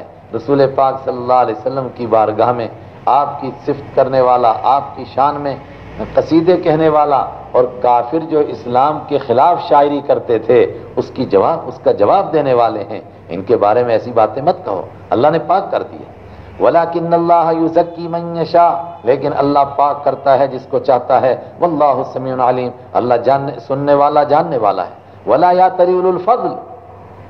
यहाँ एक और बात आई, और उसके जिम्न में एक आम सबक दिया जा रहा है पूरी उम्मत को, क्या ऐसे मौके पर जब किसी की बेटी पर इल्ज़ाम लगाए, कोई किसी की बीवी पर इल्ज़ाम लगाए तो आदमी का दिल गम से भर जाता है। और जो लोग इल्ज़ाम लगाते हैं, उनके लिए दिल में नफरतें बैठ जाती हैं। कुरान पाक ने कहा नहीं, जो बड़े लोग हैं, फजीलत वाले लोग हैं उनको अपने मर्तबे से नीचे नहीं उतरना है। कौन क्या कर रहा है, वो जाने उनका काम, जाने वो अल्लाह पर डाल दो। तुम वो काम करो जो तुम्हारी शान के लायक है। चुनाचे हज़रत अबू बकर सिद्दीक रज़ी अल्लाह चूँकि हज़रत मिस्ताह उनके क्या लगते थे? खाला के जाद बहन के बेटे तो खालाजाद बहन के बेटे क्या लगे? भांजे। भांजे लगते थे और ऊपर से ये गरीब थे, इनका कारोबार नहीं चल पाया था। तो इनका पूरा खर्चा हज़रत अबू बकर सिद्दीक उठाते थे। तो जब ये इस इल्ज़ाम में शरीक हो गए, हज़रत अबू बकर सिद्दीक को बहुत दुख हुआ कि ये, जिस पर मैंने इतने एहसानात भी किए और मेरा रिश्तेदार, और ये इसमें शामिल हो गया। उन्होंने कसम खा ली कि आज के बाद इसको एक दाना भी नहीं दूँगा। जो करे भूखा मरे, कुछ नहीं दूँगा इसको। उसके ऊपर तम भी उतरी अल्लाह की तरफ़ से कि नहीं, आपको अपने मरतबे से नीचे नहीं उतरना है। वला यातल और नहीं कसम खानी चाहिए उलुल फजली, फजीलत वालों को मिनकुम, तुम में से। बड़े लोगों को वस्ता आती और वसअत वालों को जिनके पास गुंजाइश है। अयूतुलकुरबा इस बात की कि ला छुपा हुआ है। मैं अजाबता बचा चुका कि बिसरी क्या कहते हैं? ला छुपा होता है ऐसे मौके पर। और कूफी क्या कहते हैं? कराहियत अयूतू इस बात से कि वो नहीं देंगे उलुल रिश्तेदारों को। वल मसाकिन, और गरीबों को, वल मुहाजिरीन, और हिजरत करने वालों को, फ़ी सबीलिल्लाह, अल्लाह के रास्ते में। हज़रत मिस्ता हिजरत करने वाले भी हैं, गरीब भी हैं, रिश्तेदार भी हैं आपके। वल याफू, चाहिए कि वो माफ़ करें। वल यसफहू, और चाहिए कि वो दरगुजर करें। अला तो क्या तुम पसंद नहीं करते हो? अयगफिर अल्लाह कि अल्लाह तुमको माफ़ करे, तुम्हारी बख्शिश करे। तुम लोगों को बख्शिश करो। अल्लाह तुम्हारी बख्शिश करेगा। और हदीस में है, हज़रत अबू बकर सिद्दीक ने आयत सुनी तो फरमाया भला भला अन ली। मैं पसंद करता हूँ कि अल्लाह मेरी मगफिरत करे, मैंने इसको माफ़ कर दिया और जिस तरह पहले देता था, उससे ज़्यादा दूँगा। वल्लाह गफूर रहीम, अल्लाह बख्शने वाला, रहम करने वाला है। जो किसी पर गंदे इल्ज़ाम लगाएँ, उनकी एक सजा तो ऊपर बयान हुई। ये दुनिया की सजा थी, असल सजा आखरत की है। और हो सकता है कि कोई आदमी उस तरीके से बदनाम न करे कि जिससे वो अदालत में पकड़ा जाए। लेकिन बदनाम भी कर रहा है चुपके चुपके बातें फैला रहा है। लेकिन पकड़ा जाता, कहता, नहीं, मैंने तो नहीं कहा। और चर्चे भी कर रहा है, हैं? किसी तौर पर अखबारों में चिट्ठियाँ लिख रहा है। तो ऐसे लोगों की क्या सजा है? इन लदीन यरमून। बेशक वो लोग जो इल्ज़ाम लगाते हैं, अलमोहसनाते, पाक दामन औरतों पर, अलगाफिलाती भूली भाली औरतों पर जो इस तरह की गंदी बातों का कभी सोच भी नहीं सकती, उनको ख्याल भी नहीं आ सकता। अलमोमिनाती, ईमान वाली औरतों पर लोइनो, ऐसे लोगों पर लानत की गई है फिर दुनिया वाल आखिरा। दुनिया में भी और आखरत में भी। और लानत का मतलब अल्लाह की रहमत से इनको दूर किया गया है। वलाहम आजाब उन अजीम, और इनके लिए बहुत बड़ा आजाब है। ये आजाब कब होगा? यौम तशहद अलैहिम, जिस दिन गवाही देंगी। अलैहिम इनके खिलाफ, इन पर अलसिनतुहुम, इनकी जबानें। वईदीहिम और इनके हाथ, वारजुलुहुम, और इनके पैर, बिमा कानू यामलून, उन कामों की जो ये किया करते थे। वो क्यामत के दिन, जिस दिन जबान बंद होगी, हाथ और पैर बोलेंगे, जिस्म की खाल बोलेगी, और खाल का एक एक बाल बोलेगा, यौम दिन, उस दिन युवफी अल्लाह पूरा पूरा दे देगा। हम इनको दीना, हम इनका बदला अलहक बरहक बदला। वयालमून, और अल्लाह ताला जान, और वो जान लेंगे अन मुबीन, कि अल्लाह ताला वही तो बरहक है। अलमुबीन वाज तौर पर वही हक है अल्लाह। अल्लाह के सिवा कोई था ही नहीं। अल्लाह ने इंतकाम लिया। अल्लाह ने इल्ज़ाम लगाने की इनको सजा दी। तब इनको पता चलेगा कि हाँ अल्लाह है, और उसके सिवा कोई गैरुल्लाह नहीं है। जाबता अलखबीसा तो खबीसिन गंदी औरतें लिलखबीसिन गंदे मर्दों के लिए होती हैं। वल लिलखबीसात और गंदे मर्द गंदी औरतों के लिए होते हैं। ये आम जाबता है। आम तौर पर यही होता है कि गंदे, गंदी गंदों के घर में होती हैं, और गंदे गंदों के लिए होते हैं। व तय्यबात, और पाक दामन औरतें ले तय्यबीन, पाक मर्दों के लिए। व तय्यबून, और पाक मर्द ले तय्यबाती, पाक औरतों के लिए। उलाई का मुबर्राउन ये बरी किए हुए हैं। उन कामों से मिम्मा यकूलून, जो वो कहते हैं। गंदे लोग इनके बारे में जो बातें कहते हैं, ये उनसे बिल्कुल बरी हैं। लहुम मगफिरतुन, इनके लिए बख्शिश है वरिस्कुन करीम और इज़्ज़त वाली रोजी है। आगे कुछ जबते बयान किए जा रहे हैं और ये हर मौके पर कुरान पाक बयान करता है। क्या कि वो तरीके अपनाए जाएँ जिसके ज़रिए से कभी कोई बदकारी तक पहुँची ना सके। जिसके ज़रिए से किसी पर इल्ज़ाम लगाने की हद, इल्ज़ाम लगाने तक बात जाए ना, अपने आप को किस तरह ईमान वाले गंदे कामों से बचाएँ, उसके लिए एक पूरा रुकू इसमें वही जबते पेश किए जा रहे हैं। या युहल्लदीन आमानु, सबसे पहली बात, ए ईमान वालो, ला तदखुलू बुयूतन गैर बुयूतिकुम, ला तदखुलू मत दाखिल हो जाओ बुयूतन, ऐसे घरों में गैर बुयूतिकुम, जो तुम्हारे घरों के अलावा है। अपने घर के अलावा किसी घर में मत दाखिल हूँ, हत्ता तस्तानिसू यहाँ तक कि तुम उनसीयत को मालूम कर लो, यानी इजाज़त लो, और मालूम करो कि घर वाले तुम्हारे आने को पसंद करते हैं या नहीं। वह तुसलिम वाला अहलिहा, और यहाँ तक कि तुम घर वालों को सलाम कर लो। सलाम का तरीका हदीस में क्या बयान किया गया? पहले सलाम करना है, फिर इजाज़त लेनी है। अस्सलाम वालेकुम हल्लादखुल आजकल घंटी वंटी बजाएँगे। तो जैसा पता चलेगा घर वालों को मालूम हो तो क्या कहेंगे? वालेकुम। और जो सलाम करके इजाज़त मांगेगा, उससे पूछ, वो अपना पूरा तारुफ कराएगा। हज़रत उमर अमीरुल होकर के एक जगह गए, दरवाज़ा बजाया वालेकुम। फिर नाम लेकर के कहा कि उमर इबन खत्ताब आना चाहता है, इजाज़त है? हालाँकि उनको तारुफ कराने की ज़रूरत है। और अगर घर वाला पूछे, कौन? तो इधर से जवाब दे, मैं। जैसे आजकल फ़ोन करते हैं तो उधर से पूछते हैं, मिन्नू पछाण यार, तुझे कौन पछाना फ़ोन कर रहा तो क्या ख्वाब आई हमें? ऐसे पागलों की तरह। अकल ही नहीं है। एक साहब आप सल्लल्लाहु अलैहि वसल्लम के यहाँ आए। आपने फरमाया, मन, कौन? तो उन्होंने कहा, अन, या रसूल अल्लाह मैं हूँ ना अल्लाह के नबी सल्लल्लाहु अलैहि वसल्लम। फरमाया, अन अन, मैं मैं मैं कौन है? और ये जो इजाज़त मांगनी है, ये भी घर से हट करके मांगनी है। अगर एक मरता घर में झाँक करके देख लिया तो हुजूर ने फरमाया, अब इजाज़त मांगने का कोई फ़ायदा नहीं। और बगैर इजाज़त के घर में झांकना कितना बड़ा जुर्म है? फरमाया, अगर घर वाले ऐसे आदमी को तीर मार करके उसकी आँख फोड़ दें तो मेरी अदालत में उसका कोई जुर्माना नहीं है। फोड़ दो। क्यों देख रहा था अंदर? जालिकुम खैरुल्लकुम ये इजाज़त लेकर आना तुम्हारे लिए बेहतर है। लाकुम तजक ताकि तुम नसीहत हासिल करो। बेहिजाब और बेपर्दा और सीधा घरों के अंदर घुस जाओगे, उससे बदकारियाँ फैलेंगी। फ़ैलम तजदू फीहा, बस अगर न पाओ तुम फीहा घरों के अंदर अहदन किसी को, फला तदखलूहा तो मत दाखिल हो जाओ उसमें। घर में देखा कुंडी बजाई, कोई मिलता ही नहीं तो दरवाज़ा खोला चुपके से, अंदर घुसे। हाँ भाई, कोई है घर के अंदर? अरे भाई, जब नहीं कोई नज़र आ रहा तो क्यों घुस रहा है? अगर तुझ पे इल्ज़ाम लग गया, चोरी का क्या करेगा? हत्ता यूजन लकुम यहाँ तक कि तुम्हारे लिए इजाज़त दी जाए। और अगर तुमसे कहा जाए वापस लौटो तो कहेंगे, बड़े बदतमीज हैं। मैं आया मुलाकात के लिए, दरवाज़ा ही नहीं खोलता। तीन मरतबा सिर्फ़ सलाम करना है, मगर क्या कहेंगे उम्मत के वो अफराद, जो मुख्तदा समझे जाते हैं, वो भी खट खट बजाते ही रहते हैं। सलाम अस्सलाम नहीं कहते। सलाम वालेकुम जिसका माना क्या तुम मरो? सलाम वालेकुम सलामकुम सलामकुम। बस करते ही रहते हैं, करते ही रहते हैं, करते ही रहते हैं हैं? और अगर कहा जाए कि वापस चले जाओ तो चढ़ जाओ कितने बदतमीज मुलाकात के लिए आया। अरे भाई, टाइम लो, वक्त मालूम करो, कब मुलाकात करनी है। वहीं कील हो और अगर कहा जाए तुमसे वापस चले जाओ फ़र्ज़ हो तो वापस लौट जाओ, हुआ अजका। वो पाकिजा तरीका है लकुम तुम्हारे लिए। वल्लाह बिमा तामलून अलीम।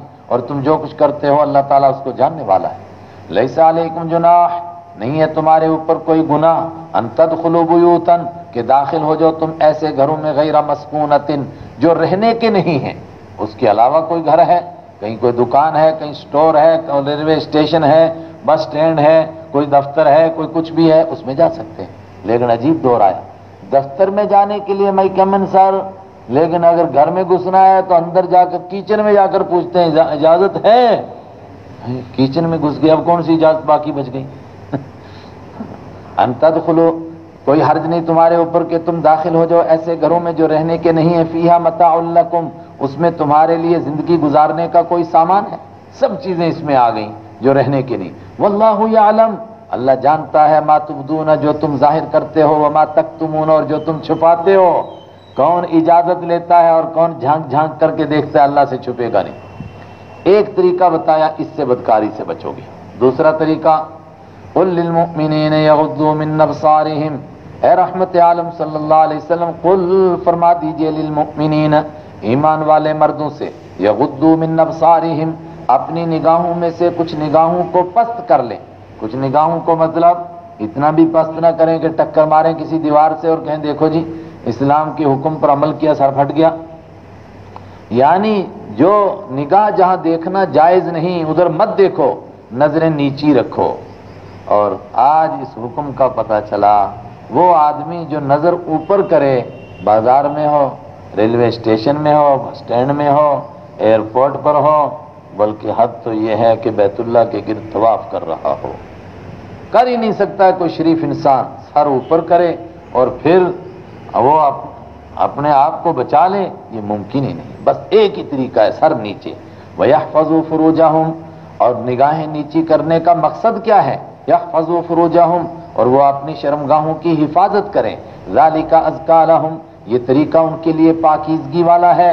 इन अल्लाह खबीर बेशक अल्लाह पूरी खबर रखने वाला है, बिमा यसनाउन जो कुछ के वो कारीगरियाँ करते हैं। मतलब सर तो नीचा करें और नीचे से इधर उधर देखते रहें। अल्लाह से नहीं छुपे। यसनाउन वकुल्लिल मोमिनात। हालाँकि आम तौर पर मिजाज ये है कि जो हुक्म मर्दों के लिए दिया जाता है, उसमें औरतें भी शामिल होती हैं। और इस हुक्म में भी औरतें शामिल थी कि मर्द भी नज़रें नीची रखें और औरतें भी नीची रखें।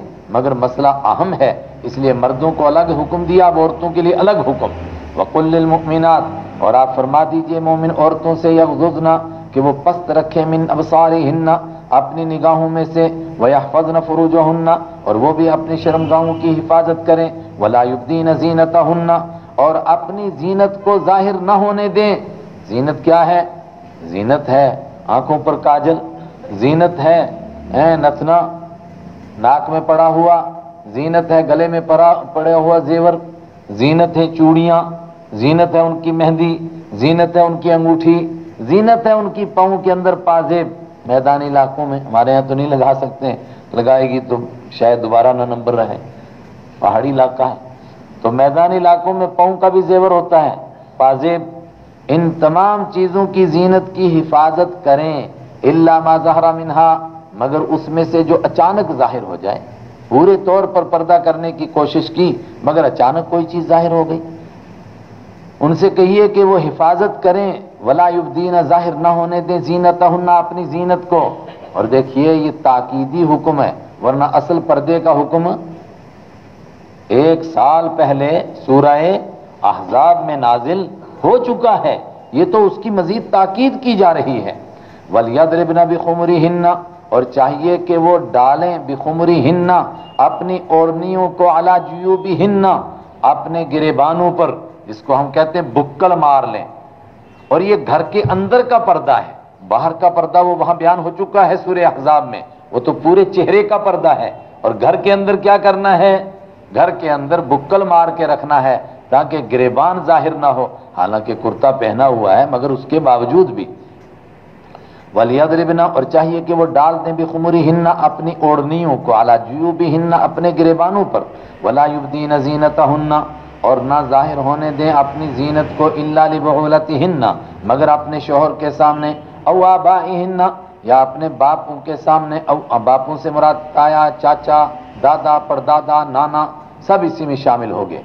अव आबा हिन्ना या अपने बापों के सामने अव आबा इबलत हिन्ना या अपने शोहर के बाप के सामने, ससुर के सामने अव अबना हिन्ना या अपने बेटों के सामने अव अबना इबलत हिन्ना या अपने शोहर के बेटों के सामने।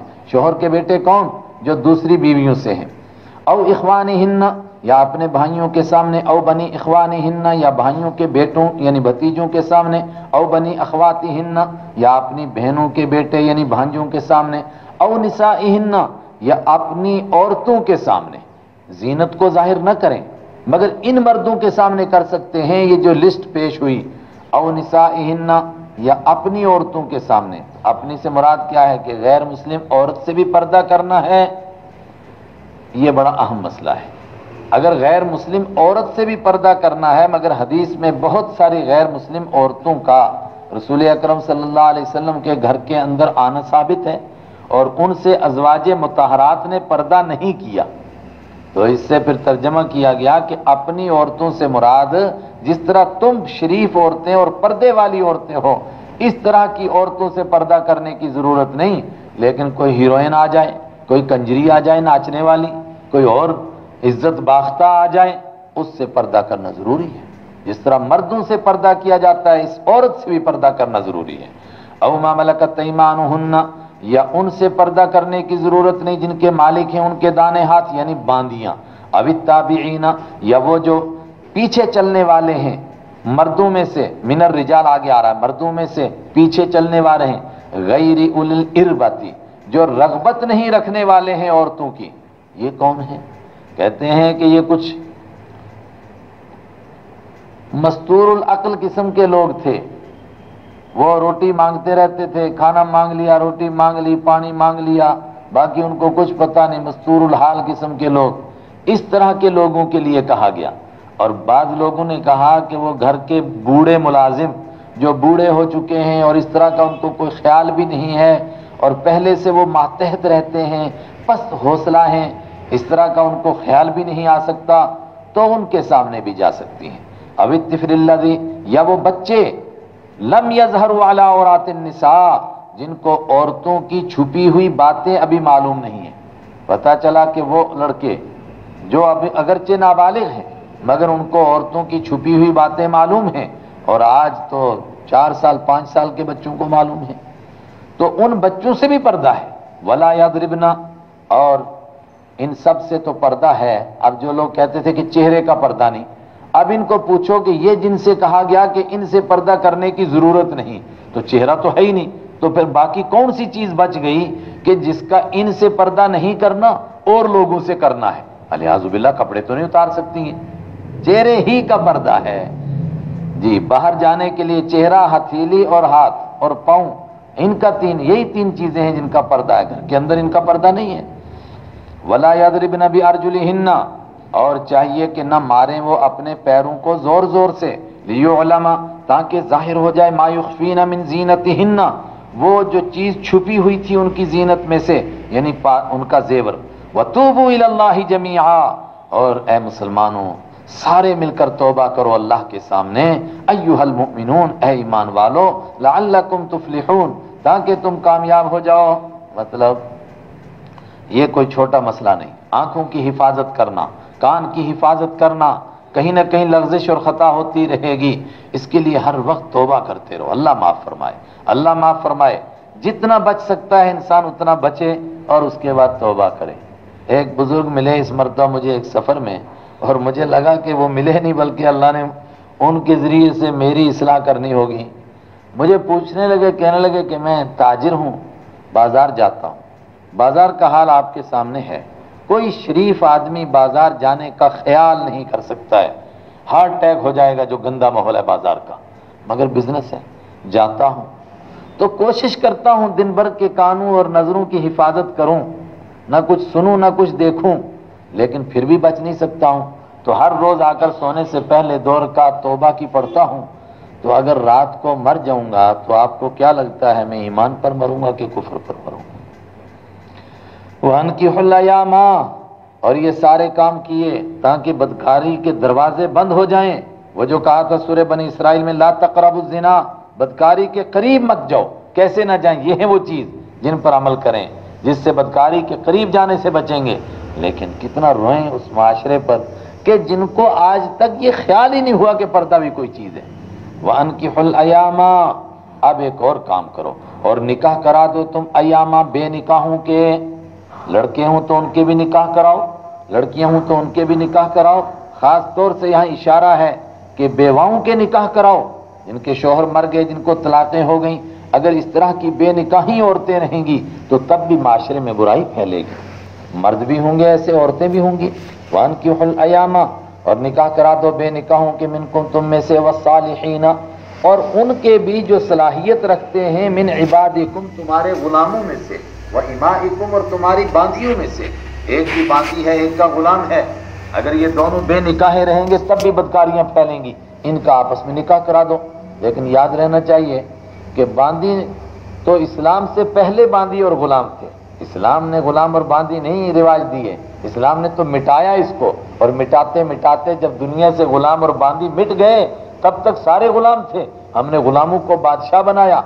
इस मुल्क में गुलामों ने हुकूमत की। मिस्र में एक लंबे अरसे तक गुलामों ने हुकूमत की। अब हमको कहने लगे, नहीं जी, इस्लाम ने गुलामी को फैलाया। इस्लाम ने फैलाया। बेईमान, पूरा यूरोप गुलाम था।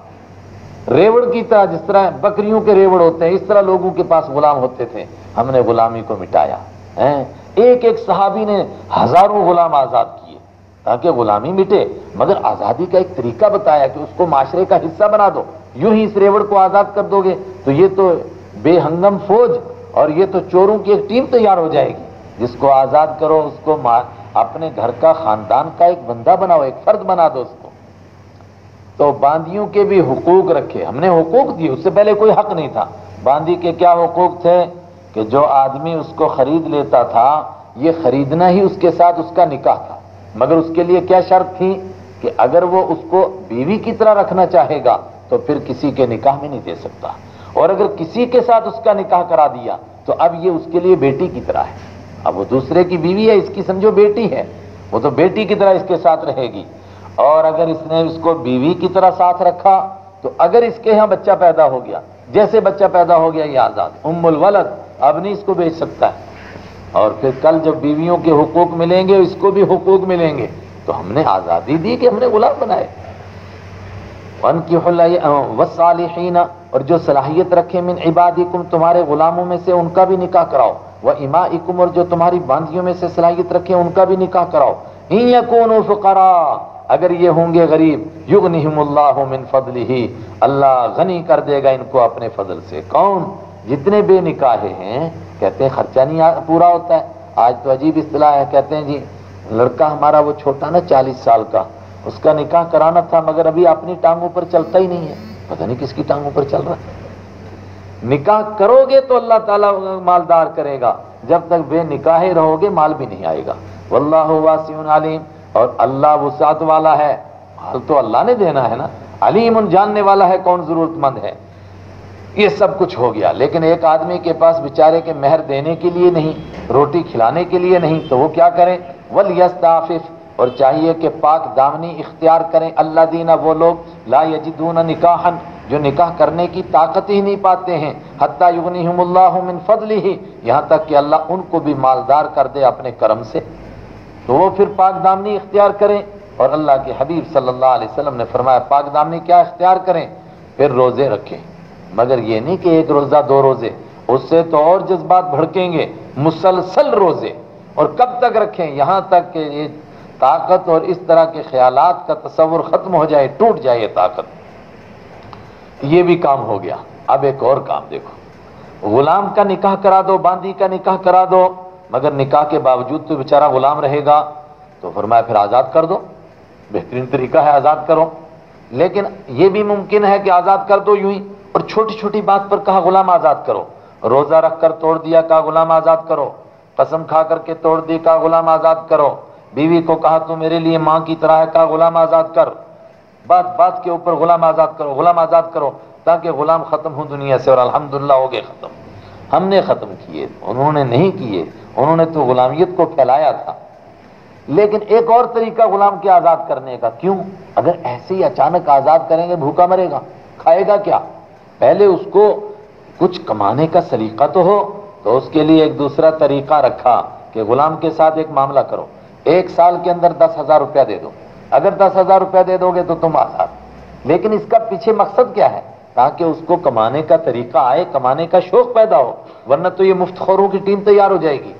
वल्लदीन अब तक किताबा और वो लोग वो गुलाम जो चाहते हैं तुमसे अल किताबा मुकातबत का मामला करना। किताब से मुराद यहाँ पर ये मामला करना। मिम्मा मलकत ईमान हुकुम उनमें से जिनके मालिक हैं तुम्हारे दाने हाथ फ़कातिबू हम तो उनको मुकातब बनाओ। मुकातब बनाने का मतलब कि उसके साथ मामला करो कि इतने पैसे दे दे, साल में तो तू आज़ाद। एक मिसाल दी, हज़ार रुपया दे दे, दस हज़ार रुपया दे दे। मगर ऐसा कब करो, इन आलिम तुम फीहिम खैरा। अगर तुमको उनमें कुछ भी भलाई नज़र आए तो ऐसा कर दो। लेकिन अब बेचारे ने की मेहनत, मजदूरी, बड़ी कोशिश की। वो साल में दस हज़ार रुपये देने थे, इसको मिले, तैयार ही नहीं होते। चार हज़ार से ऊपर बनते ही नहीं तो अब क्या करें? फरमाया, असल मकसद मकसद उससे पैसे लेना नहीं है। असल मकसद है कि उसको थोड़ा कमाई करने का शौक पैदा हो जाए। तो अब क्या करो, जब वो पैसे नहीं दे सकता है तो तुम खुद अपने पैसे उसको दो और फिर उससे वापस ले लो। क्या अच्छी बात है। वो आतू हम और दे दो तुम उनको मिम माल। उस माल में से जो तुम्हारे बाप का नहीं है, अल्लाह आता तुम जो अल्लाह ने तुमको दिया है। मिम माल ही ये अल्लाह का माल है। आज अल्लाह ने तुम्हारे पास दिया है। कल हो सकता है कि गुलाम के पास हो और तुम भीख मांगने के लिए जा रहे हो। क्या अंदाज है? वला तुकरी हो फतेहाती कुम अब ये सारे काम हो गए गुनाहों से बचने के। एक काम अब भी बाकी रहा। वो क्या बाकी रहा? अगर गंदे कामों के अड्डे खत्म नहीं होंगे, वो गंदे नाम चकले और कोठे, वो खत्म नहीं होंगे तो बदकारियाँ खत्म नहीं होंगी। फिर ये हुक्मरान को हुक्म मिला कि ये तमाम अड्डों को खत्म करो आप। और उस दौर में ये अड्डे किसके कायम किए जाते थे? बांदियों के। अल्लाह अकबर। और मदीना में सबसे बड़ा अड्डा किसका था चकला? अब्दुल्ला इबन उबई, मुनाफिक बदबख्त का। और इसकी दो बांदियाँ वो थी जो ईमान कबूल कर गई थी। मगर ये फिर भी उनसे पैसे कमवाता था, गंदे काम करा के। उसके लिए आयत नाजिल हुई। वला तुकरी हूँ कुम और अपनी बांदियों को मजबूर न करो। अपनी जवान बच्चियों को मजबूर न करो, आलल भिगा गंदे कामों पर। इन अरदन तहसुना जबकि वो चाहती हैं पाक दामन रहना। ये नहीं कि अगर वो ना चाहे तो फिर करने दो। ये तो वहाँ की बात है ना कि वो चाहती थी पाक। और अब्दुल्ला इब्न उबई नहीं होने देता था। लितब तक वारदल हयात दुनिया, ताकि तुम कमाओ दुनिया का सामान। वमन युक्री हुन्ना और जो कोई उनको मजबूर करेगा वह इन अल्लाह मिम्बाद इकराही हिन्ना तो बेशक अल्लाह ताला उनको मजबूर करने के बाद गफूर रहीम, बख्शने वाला, रहम करने वाला। अगर कोई किसी की इज़्ज़त पर हमला कर दे और बेचारी को मजबूर कर दे। और उसने पूरी ताकत लड़ाई, अपने आप को, जान को खतरे में डाला, इज़्ज़त को बचाने के लिए। मगर फिर भी इन्होंने उसकी इज़्ज़त को तार तार कर दिया। फरमाया, फिर अल्लाह उसको तो माफ़ करेगा, इनसे इंतकाम लेगा। अल्लाह ताला हमें इस पर अमल की तोफीक अता फरमाए। क्या अहकाम दिए? फिर आखिर में फरमाए अनजलना ये हमने उतारे हैं। वलकद और यकीन अनजलना हमने उतार दिए हैं इलेको मैं मुसलमानों, तुम्हारी तरफ़। आयातिम मुबैनातिन साफ़ साफ़ आयतें, यानी साफ़ साफ़ अहकाम उतार दिए हैं। वह मसलम मिन खलो मिन कबलिकुम, और हालतें बता दी मैंने, हमने उन लोगों की खलो मिन कबलिकुम जो तुमसे पहले गुजरे थे। मतलब पहले लोगों ने जब अमल नहीं किया था, उनके साथ क्या हुआ? याद है, वो जिन्होंने हफ़्ते के बारे में खिलाफ वर्जी की थी, क्या बने थे? बंदर। और कुछ उनमें से क्या बने थे? खिंजीर। उनका हाल देख लो। कौम आद और कौम समूद को देख लो। वमातलमुत्तकीन और हमने तुमको सुना दी है, नसीहत उतार दी है परहेजगारों के लिए। अब भी कोई अमल ना करे तो उसकी मर्ज़ी। खोल खोल कर बयान किया। लेकिन इंसान को अमाल के ऊपर कौन सी चीज़ खड़ी करती है? सिर्फ़ अल्लाह की मोहब्बत। उसके सिवा कोई चीज़ अमाल पर उसको खड़े करने वाली नहीं है। अल्लाह की मोहब्बत से आदमी अमाल पर खड़ा होता है, गुनाहों से बचता है। अल्लाह की मोहब्बत आएगी कब? जब अल्लाह का तारुफ होगा। अल्लाह का पता चलेगा, अल्लाह कौन है? इसलिए फ़ौरन वो आयत आ रही है, जिसको पूरे कुरान में आयत नूर कहते हैं। और ये 35 नंबर की आयत, और इसी तरह की आयत है आगे सूर्य अहजाब में, वो भी 35 नंबर की। इसमें क्या, किस शान के साथ अल्लाह ताला ने अपनी मोहब्बत का बीज बोया। ईमान वालों के दिल में, और जब वो मोहब्बत नसीब हो जाए तो फिर ईमान वाले कैसे गंदे कामों से बचते हैं? देखिए, रहमत आलम सल्लल्लाहु अलैहि वसल्लम के यहाँ तो बस आपकी सोहबत, आपकी एक निगाह करम ऐसी थी कि जो दिल की सफ़ाई कर देती थी। अल्लाह की मोहब्बत उतर जाती थी दिल में। मक्का फतेह हुआ, है, एक आदमी जो बड़ा अंदर से जला हुआ था, उसने अपनी तलवार को जहर में बुझाया। और छुपा करके आपके साथ साथ तवाफ करने लगा दूसरे दिन। और बिल्कुल जब करीब पहुँचा और तलवार खींच रहा था, नीचे से निकाल रहा था कपड़े के तो आपने मुस्कुरा के फरमाया, क्या इरादा है? सो क्या इरादा है? तो उन्होंने कहा, कोई इरादा नहीं है। फरमाया, कुछ तो है। कहा, कुछ नहीं। कहा, ये जो छुरा रखा है, ये तलवार रखी है, इसका क्या मतलब है? कहा, नहीं। कहा, नहीं, वो जो तुमने जहर में इसको बुझाया था और तुमने क्या क्या वहाँ मशवरे किए थे, याद है? बस वहीं गिर गए कदमों में, कलमा पढ़ लिया। वापस पलटे। एक औरत के साथ इनके अच्छे ताल्लुक नहीं थे, गलत थे। वो रास्ते में मिल गई इनको। उसने कहा कि बहुत अच्छा मौका है आज। इन्होंने कहा, सारे मौके खत्म हो गए। मेरे और तेरे बीच में वो दीवार खड़ी हो गई जो ज़मीन से लेकर आसमान तक बस इतनी मुलाकात, कलमा पड़ा वापस आए, सब दिल की सफ़ाई हो गई। अल्लाह की मोहब्बत मिल गई। अल्लाह नूर समावाती वल अर्द। अल्लाह वो है नूर समावात, आसमानों को रोशनी देने वाला। वल अर्द, ज़मीन को रोशनी देने वाला। मैंने जरा तर्जमा बदल कर दिया, वरना जाहिरी तौर पर उल्टा माना जन्म आया, अल्लाह आसमानों का नूर है। इन्हें आसमानों ने रोशनी दी। नहीं नहीं। अल्लाह आसमानों को रोशनी देने वाला और ज़मीन को। कायनात में जहाँ कहीं कोई नूर नज़र आता है, वो उसी का नूर है। मसल नूर ही कम इश्कातिन उसके नूर की मिसाल है। कम इश्कातिन जैसा कि एक ताकचा हो। ताकचा समझ गए कि दीवार के अंदर सुराख सा होता ना, जिसमें वो चिराग रखते थे पहले। हम खेरा कहते हैं, क्या कहते हैं, आप वो उसको कहिए। कमिश्कातिन, जैसा कि एक ताकचा हो, फीहा मिसबाह उसके अंदर एक चराग हो, अल मिसबाह फ़ी जुजाजा। और चराग शीशे के अंदर हो। पहले वो लालटेन होती थी, लैंप होते थे ना शीशे के अंदर। अजुजाजा तो का अन्ना कौकब। और वो शीशा हो जैसा कि सितारा चमकता हो, दुर्रियुन, मोती की तरह चमकता हुआ सितारा। और ये शीशा भी तेज और चराग भी और ताकचे में है, क्योंकि ताकचे में होता है, रोशनी आगे को जाती है। ये ताक कौन है? ये बंदा मोमिन का सीना है। और बंदा मोमिन का सीना वाक्यतन ये जो हड्डियों का ढांचा है तो इसको अगर देखें तो बिल्कुल वो ताक की तरह है, जैसे दीवार के अंदर ताक, उसी तरह। इसके अंदर जो अल्लाह ने फितरी तौर पर अपनी मोहब्बत रखी है, ये फितरी तौर पर उसकी मोहब्बत का चराग है। और ये चराग किसमें है? शीशे में। और शीशा कैसा है? सितारे की तरह चमकने वाला। मगर इसके अंदर जो तेल जलता है, असल मसला तो उसका है। यू कदुमिन शजरत मुबारक। ये जलाया जाता है मुबारक दरख्त से बाबरकत दरख्त के तेल से। कौन है बाबरकत दरख्त? जैतून, यानी जैतून का दरख्त। और जैतून भी कौन सी ला शर्किया वाला गरबिया? न वो मशरकी जानब है, न वो मगरबी जानब है। अगर मशरक की जानब हो तो चढ़ते हुए सूरज की धूप लगेगी, उतरते हुए की नहीं लगेगी। और अगर मगरबी हो तो उतरते की लगेगी, चढ़ते हुए की नहीं लगेगी। और जो दरख्त परवरिश पाता है, वो सूरज की धूप से पाता है। ये कहाँ है? सेंटर में है। चढ़ते हुए सूरज की भी धूप लगती है, उतरते की भी लगती है। क्या ज़बरदस्त जैतून है। इसका फल कैसा ज़बरदस्त होगा? इसके फल से जो तेल तैयार होगा, वो तेल कैसा ज़बरदस्त होगा? वो तेल नहीं, वो समझो पेट्रोल है। और ये पेट्रोल क्या है? ये हर बंदे की वो फितरत, वो नेचर, जिसको लेकर के वो पैदा होता है। ये उसके अंदर पहले से मौजूद है। फिर क्या होता है? फिर इसके ऊपर आसमानी नूर आता है।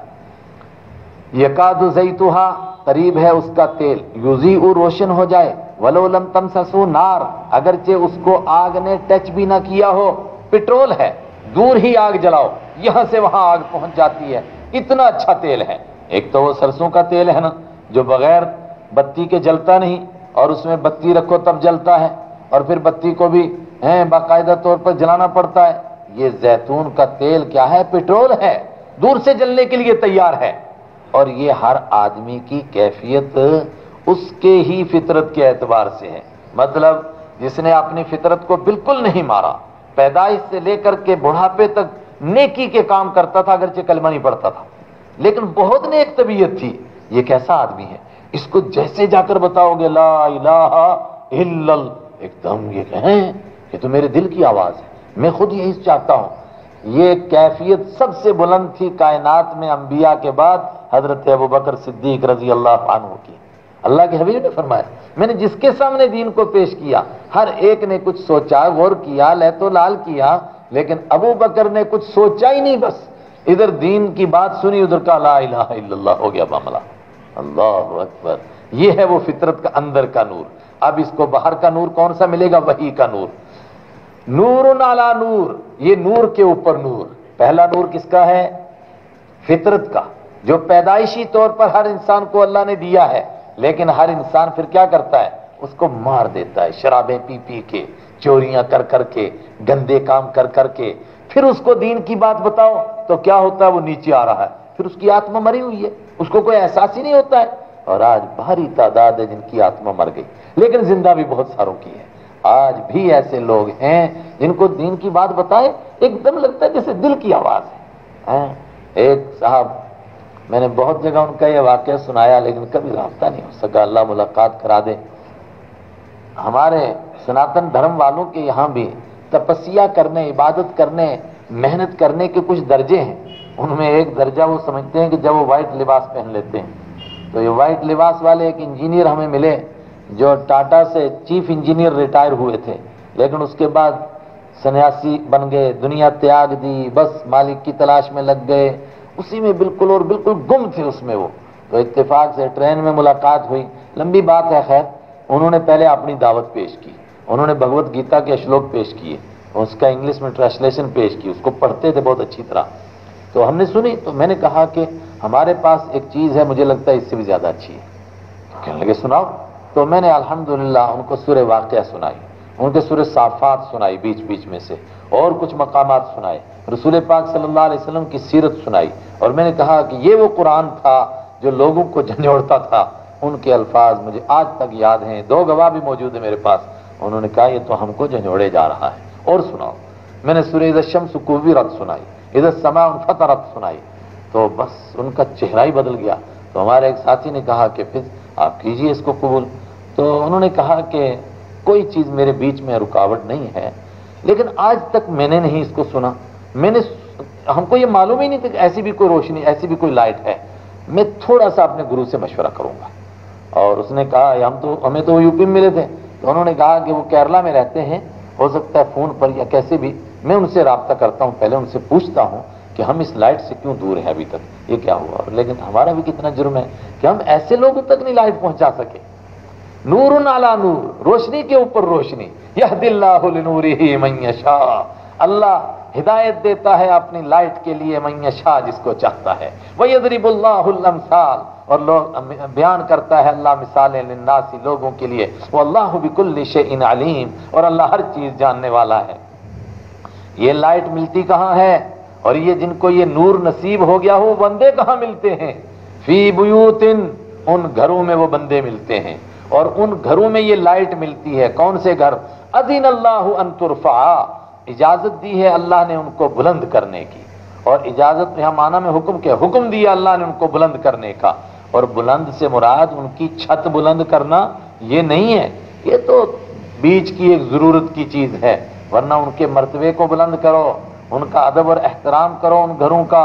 उनके अंदर चीखो चिल्लाओ मत। और दुनिया की बात करोगे तो नेकियों को इस तरह खा जाएँगी जिस तरह आग, लकड़ी को खा जाती है।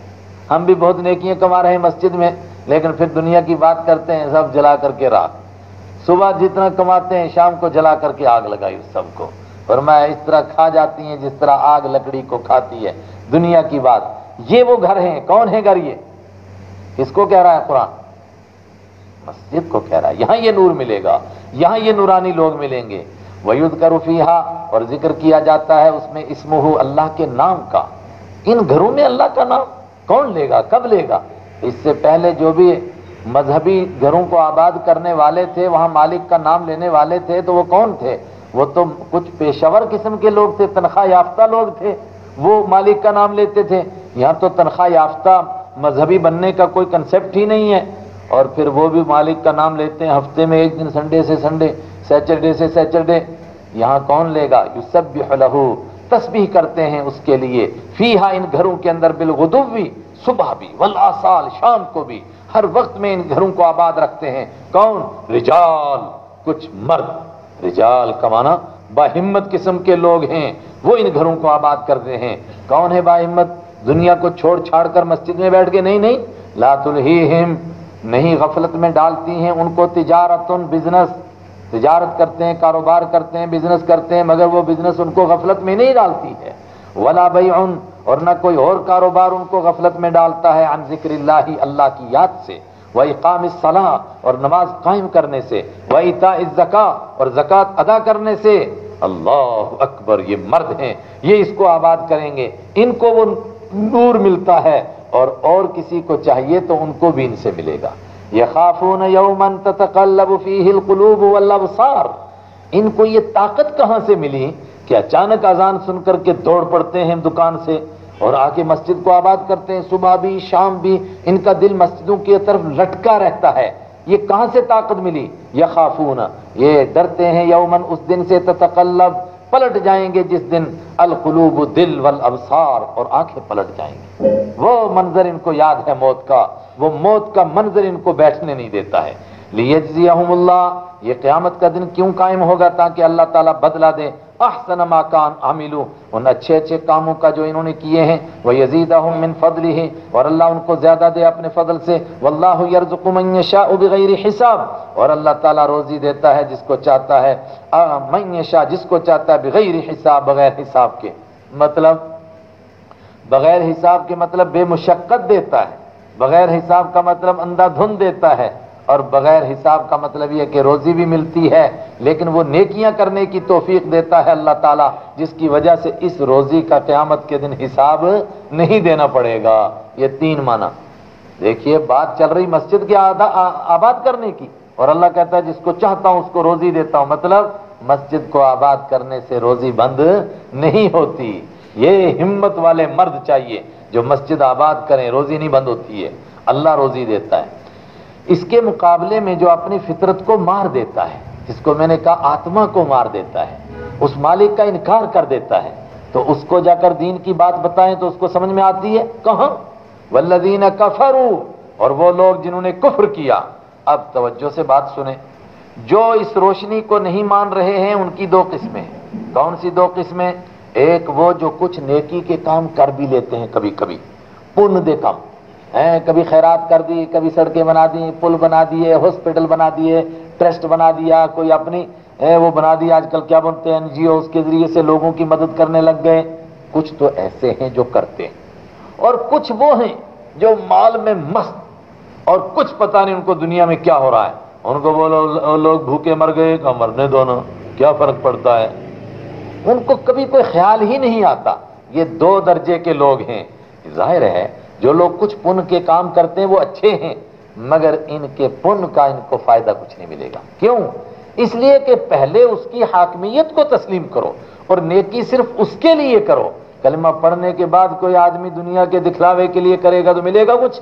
हाँ कुछ भी नहीं मिलेगा। अगर रियाकारी के लिए करे, दिखलावे के लिए करे और खैरात करने के बाद एहसान जताए और खैरात करने के बाद एक मरतबा तकलीफ़ दे दे, कोई सवाब उसको नहीं। जब इसको नहीं तो उसको भी नहीं है। दो किस्म के लोग हैं। दूसरे का बाद में अभी ज़िक्र आ वल्लदीन कफरो, और वो लोग जिन्होंने अपने मालिक का इनकार कर दिया अमालुहुम उनके भी अमाल हैं, मगर का शराब रेत के ढेर की तरह। बिकियातिन जो मैदान, चटकेल मैदान में पड़ा हो। यह सब जमान गुमान करता है उस रेत के ढेर को अजमान प्यासा आदमी माँ अन पानी। वो सोचता है, ये पानी है। हत्या जा आहू यहाँ तक कि रेगिस्तान में चलने वाला आदमी, जिसका पाँव रेत में धसता है, किस तरह उसको प्यास सताती है? उसकी जबान बाहर आ जाती है। दूर से देखा उसने रेत का ढेर। उसने सोचा वहाँ चश्मा है। हत्या जा आहू यहाँ तक कि जब वो आएगा उसके पास, लम यजिद आ तो नहीं पाता है वो उसको कुछ भी। वो तो रेत का ढेर है। बस इसी तरह ये जब क्यामत के दिन महशर के मैदान में पहुंचेगा तो सोचेगा, यार, चलो, नमाजा नहीं पढ़ी, रोज़े नहीं रखे, जक़ात नहीं दी मगर हमने कुछ नेक काम कर दिए थे, पुण्य दे कम कितने, वो काम आ जाएँगे। वजद अल्लाह इंदहू, कुछ नहीं वहाँ मिलेगा। वहाँ अल्लाह को देखेगा वफ़ा हिसाब अल्लाह उसके पूरे पूरे हिसाब दे देगा। ये मजमून कई जगह कुरान ने बयान किया और आगे सूर्य फुरकान में ज़बरदस्त अंदाज से और बयान किया जाएगा कि ये नेकियाँ कर रहे हैं, मगर अल्लाह के लिए नहीं कर रहे हैं। अपने मालिक के लिए नहीं कर रहे हैं, अपनी शोहरत के लिए कर रहे हैं, अपनी बिरादरी को ऊँचा करने के लिए कर रहे हैं और दूसरे मकासद के लिए कर रहे हैं, कोई फ़ायदा नहीं, जिसके लिए कर रहे हैं, उससे स्वाब में ले लो। वल्लाह सरी हिसाब। कब हिसाब होगा का बस होने वाला है, अभी होने वाला है। क्या जी, अभी होने वाला मतलब भाई, मौत का इंतज़ार है, मर गए तो आगे, बस, समझो कि एक लम्हा गुजरा बरजक का, उसके बाद दूसरा कदम मैशर के मैदान में है। और दूसरे वो नाफरमान, वो जिन्होंने अपनी आत्मा बिल्कुल मार दी।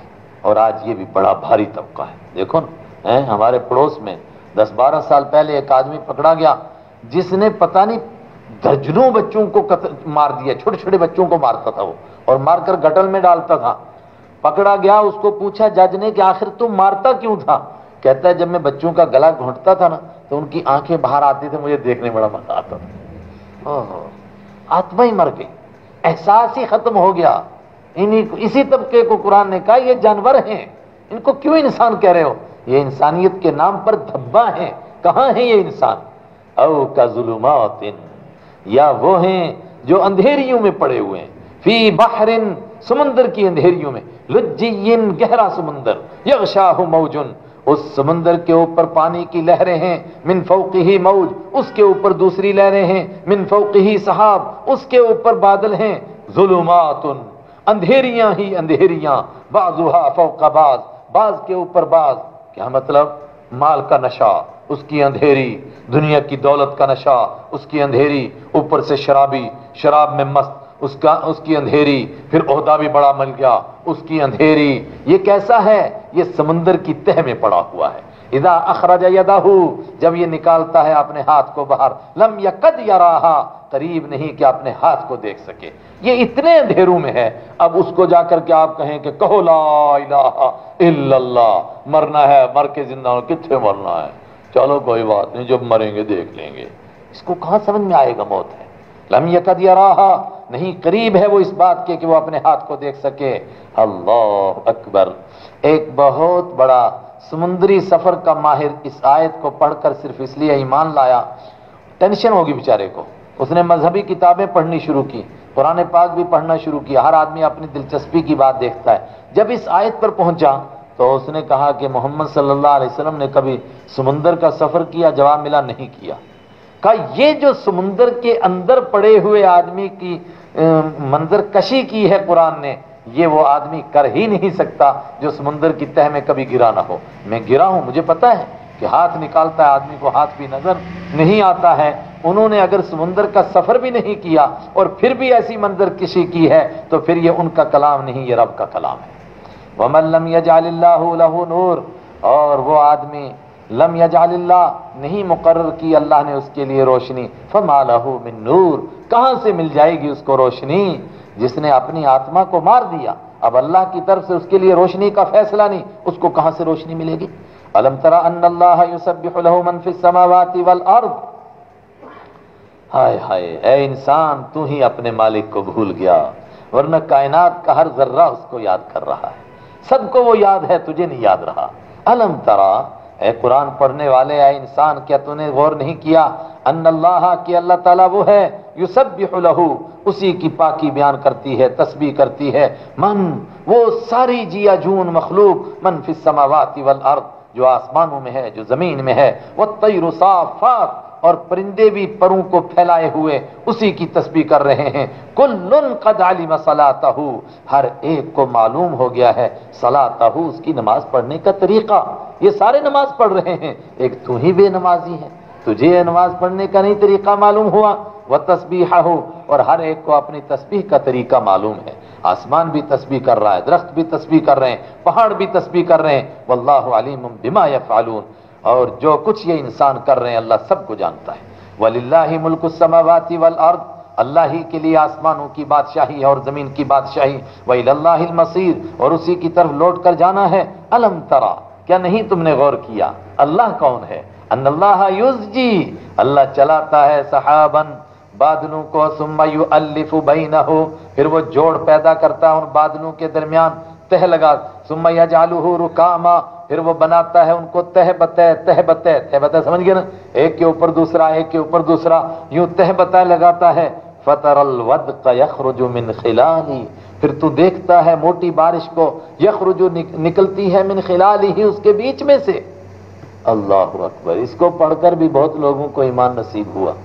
आज हम जहाज़ पर जाते हैं तो ऊपर से देखते हैं कि वाक्यतन बादलों के क्या मालूम होते हैं। तह बतह लगे हुए। और लगता है कि बादलों के पहाड़ हैं। एक पीर पंजाल हम नीचे छोड़कर गए, ऊपर बादलों का लगता है। साढ़े चौदह सौ साल पहले अल्लाह के हबीब ऊपर तो नहीं गए बादलों को देखने के लिए। तो फिर आप बयान कर रहे हैं तो इसका मतलब ये आपका कलाम नहीं, किसका कलाम है? अल्लाह का। वो कैफियत बयान की बादलों की। वयुनजिल समा, और उतारता है अल्लाह ताला मिन समाई ऊपर से। मिन जिबालिन, यानी पहाड़ों में से, मिन बयानिया। यानी पहाड़ों में से उतारता है फीहा, जो पहाड़ होते हैं ऊपर फजा में। क्या उतारता है? मिन जायद तीसरे वाला। मिन दिन उतारता है ओलू को। फयुसीब भी क्या करता है? बादल तह बतह लगते हैं ऊपर, हैं? और बादलों के पहाड़ बनते हैं, काले पहाड़। और वही काले पहाड़, अब भी हमको तहकीक से मालूम हुआ कि इस तरह के पहाड़ जब बरसते हैं बादलों के तो उसमें से क्या गिरते हैं? ओले गिरते हैं। अभी अल्लाह बयान कर रहा है। इसीलिए मैं शुरू से कह रहा था कि जो कहा जाता है ना कि बारिश आसमान से, आसमान नहीं मुराद है, उससे मुराद क्या है? फजा। यहाँ तफसील आ गई ना। कहाँ से बरसती है? दोबारा सुनो इसको। वयुनजिलो और अल्लाह उतारता है, मिन समा ऊपर से। मिन जिबालिन, यानी उन पहाड़ों में से, फीहा, जो वहाँ होते हैं ऊपर। किसके पहाड़ हैं ये? बादलों के। मिम भरा दिन किसको उतारता है? ओलू को। फयुसीबु भी मैशा और तुम समझते हो जी, अचानक ओले बरसे, अचानक एक आदमी के सर में आकर लग गया एक ओला अचानक बंदा मर गया है, अचानक वचानक कुछ नहीं होता है। उसी को लगता है जिसको अल्लाह चाहता है। फयुसीब भी तो अल्लाह पहुंचाता है उस ओले को मैशा जिसको चाहता है। वो यसरिफ मैशा और फेर देता है उन ओलों को जिससे चाहता है। एक ओलों के बीच में खड़ा, उसको लगता ही? कई साल पहले की बात है, शायद आप में से भी किसी ने अखबार में पढ़ा है। ये चंबा में, करीब हिमाचल में। अचानक ओले पड़ने लग गए। बहुत सख्त किस्म की बारिश हो गई। एक गाड़ी चल रही थी तो ड्राइवर मजबूर हो गया। गाड़ी रोकी, बड़ा पहाड़ी इलाका है, सड़कें वहाँ की तंग है, सबको मालूम होगा। तो सब लोग जो हैं, उतर गए गाड़ी से। कहने लगे, भाई, इतनी तेज बारिश हो रही है तो एक दरख्त के नीचे जाकर के खड़े हो गए। तो सब के सब जाके दरख्त के नीचे खड़े हुए। एक आदमी ने कहा, मैं गाड़ी में रहूँगा। ऊपर से बिजली गिरी, गाड़ी जली। एक जो गाड़ी के अंदर था, वो मरा, जो बाहर निकले थे, वो सब के सब ज़िंदा रहे। देखिए क्या? युसीब भी जिसको चाहता है उसको पहुंचाता है? वह सिर्फ़ हो आम शाह फेर देता है जिससे चाहता है। यकाद सना बरती ही, करीब है कि उसकी बिजली की चमक, सना के माने चमक कौंद, उसकी चमक यजहबु बिल्लाबसार ले जाए निगाहों को, मगर ले जाती नहीं है, उसी की ले जाएगी जिसकी अल्लाह चाहेगा। युकल्लिबुल्लाहु लैला वन नहार अल्लाह पलटता है रात और दिन को ये निज़ाम चलाता है, एक सर्कल चल रहा है। इन नफीज अली का बेशक इन सारी बातों में इबरतन ज़रूर भी ज़रूर इबरत अबसार, मगर आँखों वालों के लिए। वल्लाह खला दाबा और अल्लाह वो है कि जिसने पैदा किया हर ज़िंदा चीज़ को मिमाइन पानी से। हर चीज़ की ज़िंदगी का दारो मदार पानी से है। पानी से मुराद वो कतरा भी हो सकता है जिससे पैदा हुआ, या ये है कि उसकी ज़िंदगी का दारो मदार पानी पर है। फमिन हम मैमशी आला बतनी। तो फिर कुछ उनमें से वो हैं मैमशी जो चलते हैं आला बतनी। अपने पेट के बल, सांप है, बिच्छू है, छपकली है, ये सब के सब चल रहे हैं किस पर? पेट के ऊपर। अजीब शान है। है नहीं उनके पास टांगे। बिल्कुल एक रस्सा सा है। मगर दौड़ता कैसे है? क्या उसकी शान है? उसने उसी ढंग से उसको चलाना सिखा दिया। वमिन हम और उनमें से कुछ वो हैं मैमशी आला रिजलैन। जो चलते हैं दो पैरों पर, उनमें से हम भी हैं। वमिन होम और इन्हीं जानवरों में से, इन्हीं इसी मखलूक में से मन कुछ वो हैं। यमशी आला अरबा, जो चलते हैं चार पैरों के ऊपर, और सबसे ज़्यादा यही है। यखलुकुल्लाह मायशा अल्लाह पैदा करता है मायशा जो चाहता है। कुछ चार टांगों वाले, कुछ दो टांगों वाले, कुछ पेट वाले, और कुछ हज़ार टांगों वाले। हैं? एक एक वो है ना, वो कान में घुसने वाली, उसकी कितनी टांगे हैं? कहते हैं, इसी तरह का एक और भी कीड़ा होता है, हमने पढ़ा तो है, हज़ार पाए उसको फारसी में कहते हैं, देखा नहीं है। आपने अगर कहीं देखा हो तो बताइएगा मुझे भी। उसके हज़ार टायर हैं और ट्रेन की तरह दौड़ता है वो, दौड़ता है वो। अल्लाह अकबर, यखलुकुल्लाह इन अल्लाह अला कुल्ली शैन कदीर। ये सारी बातें साबित करती हैं कि बेशक अल्लाह ताला हर चीज़ पर कुदरत रखने वाला है। लकत अनजल आयातिन मुबैनातिन बेशक हमने उतार दी हैं वाजे वाजे आयतें। वल्लाहु यहदी और अल्लाह हिदायत देता है जिसको चाहता है सिरातिम मुस्तकीम। सीधे रास्ते की तरफ़। अब ये सूर्य नूर उतर गई और इसमें ये अहकाम उतर गए जो हमने पढ़ लिए हैं, पर्दे के अहकाम, दूसरे अहकाम। ओहो, फरमाया, अब पता चलेगा कौन कितने पानी में है। वह ना अमन्ना बिल्ला और कुछ लोग हैं जो कहते हैं, हम ईमान ले आए अल्लाह पर। वबिर रसूली और रसूल पर ईमान ले आए। वाताना, और हमने इतात कर दी। सुमैत वल्ला फिर मुँह मोड़ लेता है फरीक मिनहुम। एक गिरोह उनमें से मिन बादी का इस ऐलान करने के बाद भी। ऐलान किया, हमने मान लिया। अब ये अहकाम आए भी मानो। अगर तुम मानते हो तो ये पर्दे का हुक्म भी तो अल्लाह ने उतारा है। ये दूसरे अहकाम भी तो अल्लाह ने दिए हैं। अब मुँह मोड़ने लग गए। फरमाया, सुनो, वमा उलाई कबिल मोमिनीन, ये नहीं है ईमान वाले। धोखा मत खाओ। ये अपने आप को धोखा दे रहे हैं, बेवकूफ़ बना रहे हैं। वहीदा दुहो इल्लाह और जब ऐसे लोगों को बुलाया जाता है, आओ अल्लाह की तरफ़ व रसूल ही और उसके रसूल की तरफ़। मतलब अल्लाह के अहकाम के सामने आ जाओ, उसके हुक्मों के मुताबिक फैसले को कबूल करो। लिया हुकुम बैना ताकि वो फैसला करे तुम्हारे दरमियान। फरीकुम हम अचानक एक जमात उनमें से मोहरिदून एराज करने लगती है, कन्नी काटती है, मुँह मोड़ लेती है, नहीं जी, नहीं नहीं। वही यकुल्लहुम और अगर हो उनके लिए अलहक हक मतलब उनको ये लगे कि इस मौके पर हमें फ़ायदा दूसरी अदालत में जाने में नहीं, बल्कि इस्लामी अदालत में जाने में है। तो फिर क्या करेंगे? वो तो आजकल एहसास होता है ना उसका, या तो ही मुजइनीन, आ जाएँगे वो उसकी तरफ़, अल्लाह के कानून की तरफ़ मुजइनीन, दौड़ते हुए, यकीन करते हुए फर्मा बरदारी का ऐलान करते हुए। हैं, देखें बड़े बड़े नाफरमान सारी ज़िंदगी कोर्टों में लड़ते हुए गुजर गई। लेकिन अगर अचानक पता चला कि यहाँ मुफ्ती के पास हमें फ़ायदा होगा तो जनाब जनाब, बात तो ये है ना, हम सिर्फ़ इस्लामी अदालत में फैसला चाहते हैं और कहीं हम जाना नहीं चाहते हैं। अच्छा अफी कुलूबिहिम मरल, क्या इनके दिलों में बीमारी है? अमिर ताबू, या इनको शक है? हम यखाफून, या ये डरते हैं कि सारे मुकदमों के लिए नहीं आते? मीठा मीठा हफ हफ कड़वा कड़वा थू थू यहीफ अल्लाह। क्या ये डरते हैं? हाफ़ यहीफ। अदा, फैसला करने में जुल्म करना, तरफदारी कर देना, कि जुल्म करेगा अल्लाह अलैहिम उन पर रसूल हो और उसका रसूल। बल उलाई कहमजालिमून न अल्लाह जालिम है, ना उसका रसूल जालिम है, यही जालिम है। ओहो। ईमान वाले कैसे होते हैं? ये अहकाम आ गए हैं। बदकारी का हुक्म आया, तुहमत लगाने का हुक्म आया, दूसरे अहकाम आए मोमिन कौन होता है? इन मकान कौलमिन बेशक ईमान वालों की बात होती है इदा दुरू जब उनको बुलाया जाता है अल्लाह अल्लाह की तरफ़ रसूल ही और उसके रसूल की तरफ़, यानी इस्लामी अदालत की तरफ़ लियाकुम बैना ताकि वो फैसला करे उनके दरमियान अयकूलू ये कि वो कहें समय ना हमने सुन लिया वाता ना हमने मान लिया बउलाई कहमुलमुफलिहून और यही लोग हैं फलाह पाने वाले जो सूर्य मोमिन में कहा गया था, ये कामयाब हुए। वमयुतल्ला और जो अल्लाह की इतात करेगा, अल्लाह की बात मानेगा, व रसूल और उसके रसूल की बात मानेगा। तवज्जो, अल्लाह की इतात की तो रसूल की इतात हो गई कि नहीं हो गई? अल्लाह और रसूल की कोई अलग अलग इतात है? लेकिन क्यों अलग अलग बयान किया गया?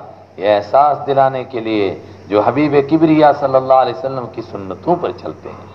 वयक्षल्ला और जो अल्लाह से डरता है वह तक ही और अल्लाह का तकवा इख्तियार करता है। यहाँ दो बातें आई, एक खशियत और एक तकवा।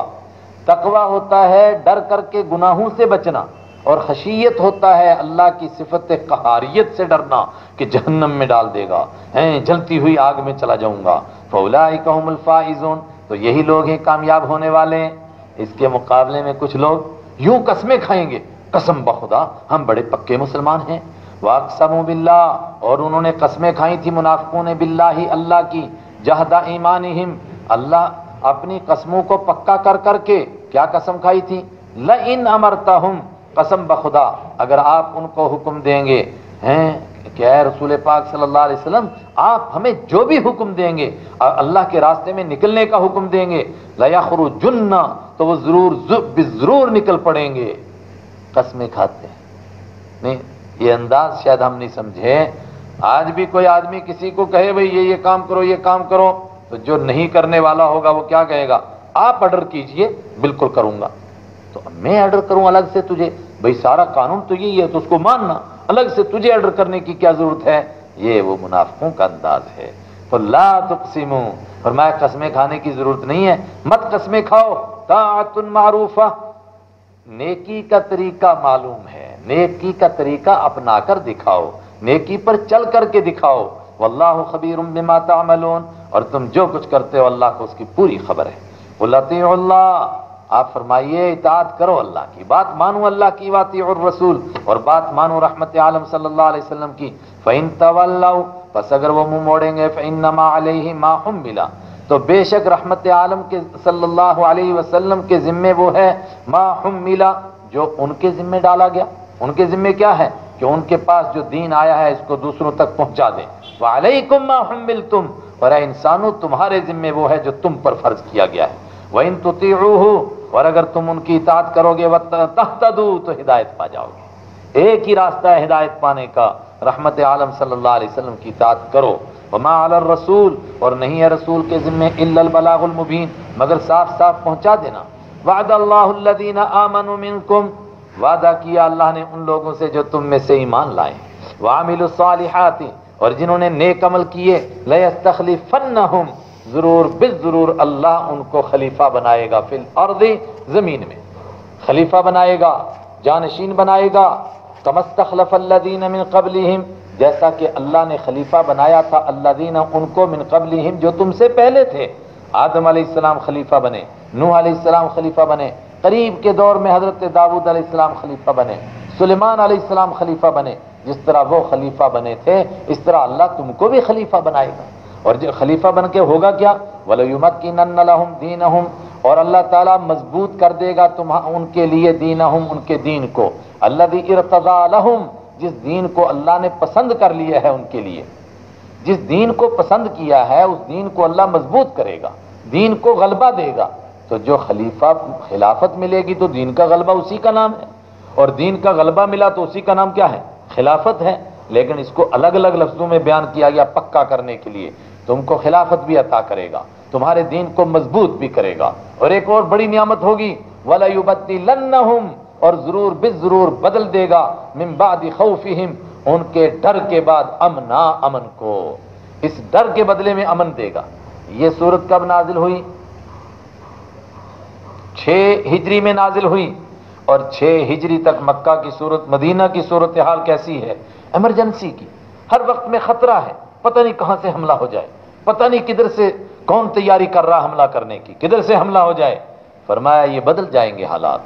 खौफ की जगह अमन आ जाएगा। अमन ही अमन होगा। और फिर क्या होगा? या बुदूननी जब मैं खिलाफत दूँगा, वो मेरी ही इबादत करेंगे। ला युशरिकून बी शई आ और मेरे साथ किसी को शरीक नहीं होने देंगे। खिलाफत मिल गई उनको। वमन का का और इसके मिलने के बाद जो नाशुक्री करेगा फवलाई तो यही लोग हैं जो फर्मा बरदारी से निकलने वाले हैं। और इस्लामी तारीख पर नज़र रखने वाले कहते हैं कि अल्लाह ताला ने फिर ये वादा पूरा किया। खिलाफत दी। हज़रत अबू बकर सिद्दीक, हज़रत उमर, हज़रत उस्मान, हज़रत अली रज़ी अल्लाह अजमाइन खिलाफत मिली। अमन भी आया। खौफ रुखसत हो गया। खौफ का तस्वुर भी चला गया। मगर उसके बाद हमसे नाशुक्री हो गई। जब हमसे नाशुक्री हो गई तो फौलाई कहमुलफासिकून फिर हम फर्मा बरदारी से निकलने वाले बन गए। फिर अल्लाह की तरफ़ से पकड़ भी आ गई। वाकई मुसला और नमाज़ कायम करो वात जका और जक़ात अदा करो वाती और रसूल और रसूल सल्लल्लाहु अलैहि का कहना, मानू लअल्लकुम तुरहमून ताकि तुम पर रहम किया जाए। अगर चाहते हो कि तुम पर रहम किया जाए तो तुम मेरे रसूल की इतात करो। और अगर रसूल की इतात नहीं करोगे तो गोया तुम चाहते हो कि तुम पर रहम न किया जाए। अल्लाह अकबर। एक रिवायत है मुस्ंद इमाम अहमद में, मैंने वो पूरी रिवायत अभी मंगवाई। रहमत आलम अलैहि वसल्लम बशीर रज़ी अल्लाह ताला उसके रावी हैं। और सनद के दर्जे को नीचे लिखा हसन हसन के दर्जे में है। और इसी के साथ में हज़रत हुजैफा इब्न यमान की रिवायत है। उसमें थोड़े से अल्फाज बदले हुए हैं, लेकिन उसकी रिवायत, सनद जो है वो सही के दर्जे में है। ये दर्जे हैं हदीस इसको जानते हैं। रिवायत क्या है? रहमत आलम सल्लल्लाहु अलैहि वसल्लम मस्जिद में तशरीफ़ लाए और आपने देखा सहाबा बैठे हुए हैं तो उनके चेहरों को देख करके आपने खुतबा देना शुरू फरमाया। तो उस खुतबे में जो बातें इरशाद फरमाई, उसमें से सहाबी फरमाते हैं मुझे एक अहम बात याद रही, मैं सुनाता हूँ। आपने फरमाया एक दौरे नबूवत है, और ये दौरे नबूवत चलेगा जब तक अल्लाह चाहेगा कि ये चले। तो दौरे नबूवत तो मतलब आपके रहने तक है जवाब। सुन्न तकून खिलाफा, उसके बाद एक दौरे खिलाफत आएगा, और वो चलेगा जब तक अल्लाह ताला चाहेगा। सुम्म तकून मुल्कन आजन, उसके बाद फिर काटने वाला वाली मुलूकियत आएगी, काट खाने वाली बादशाही। जिसमें लोगों पर जुल्म होगा, काट खाएँगे, मगर फिर भी ईमान वाले होंगे, बादशाही चलेगी। एक जमाने तक ये भी चलेगी। चलेगी ये बादशाही जब तक अल्लाह चाहेगा। फरमाया सुम्मत कून मुल्कन जबरीयतन। फिर वो ज़बरदस्ती की बादशाही आएगी। फिर काट खाने वाली नहीं, फिर इज्जतों को पामाल करने वाली। फिर तुम गुलाम बनोगे, बाहर के लोग आकर के तुम पर हुकूमत करेंगे। सुम्मत कून खिलाफतन अला मिनहाज नबुवा फिर आखिरी वो वक्त आएगा कि जब फिर नबूवत के तरीके के मुताबिक खिलाफत कायम होगी, यानी हज़रत ईसा सलाम तशरीफ़ लाएँगे, हज़रत महदी आ जाएँगे और फिर पूरी दुनिया के अंदर वैसी खिलाफत कायम हो जाएगी।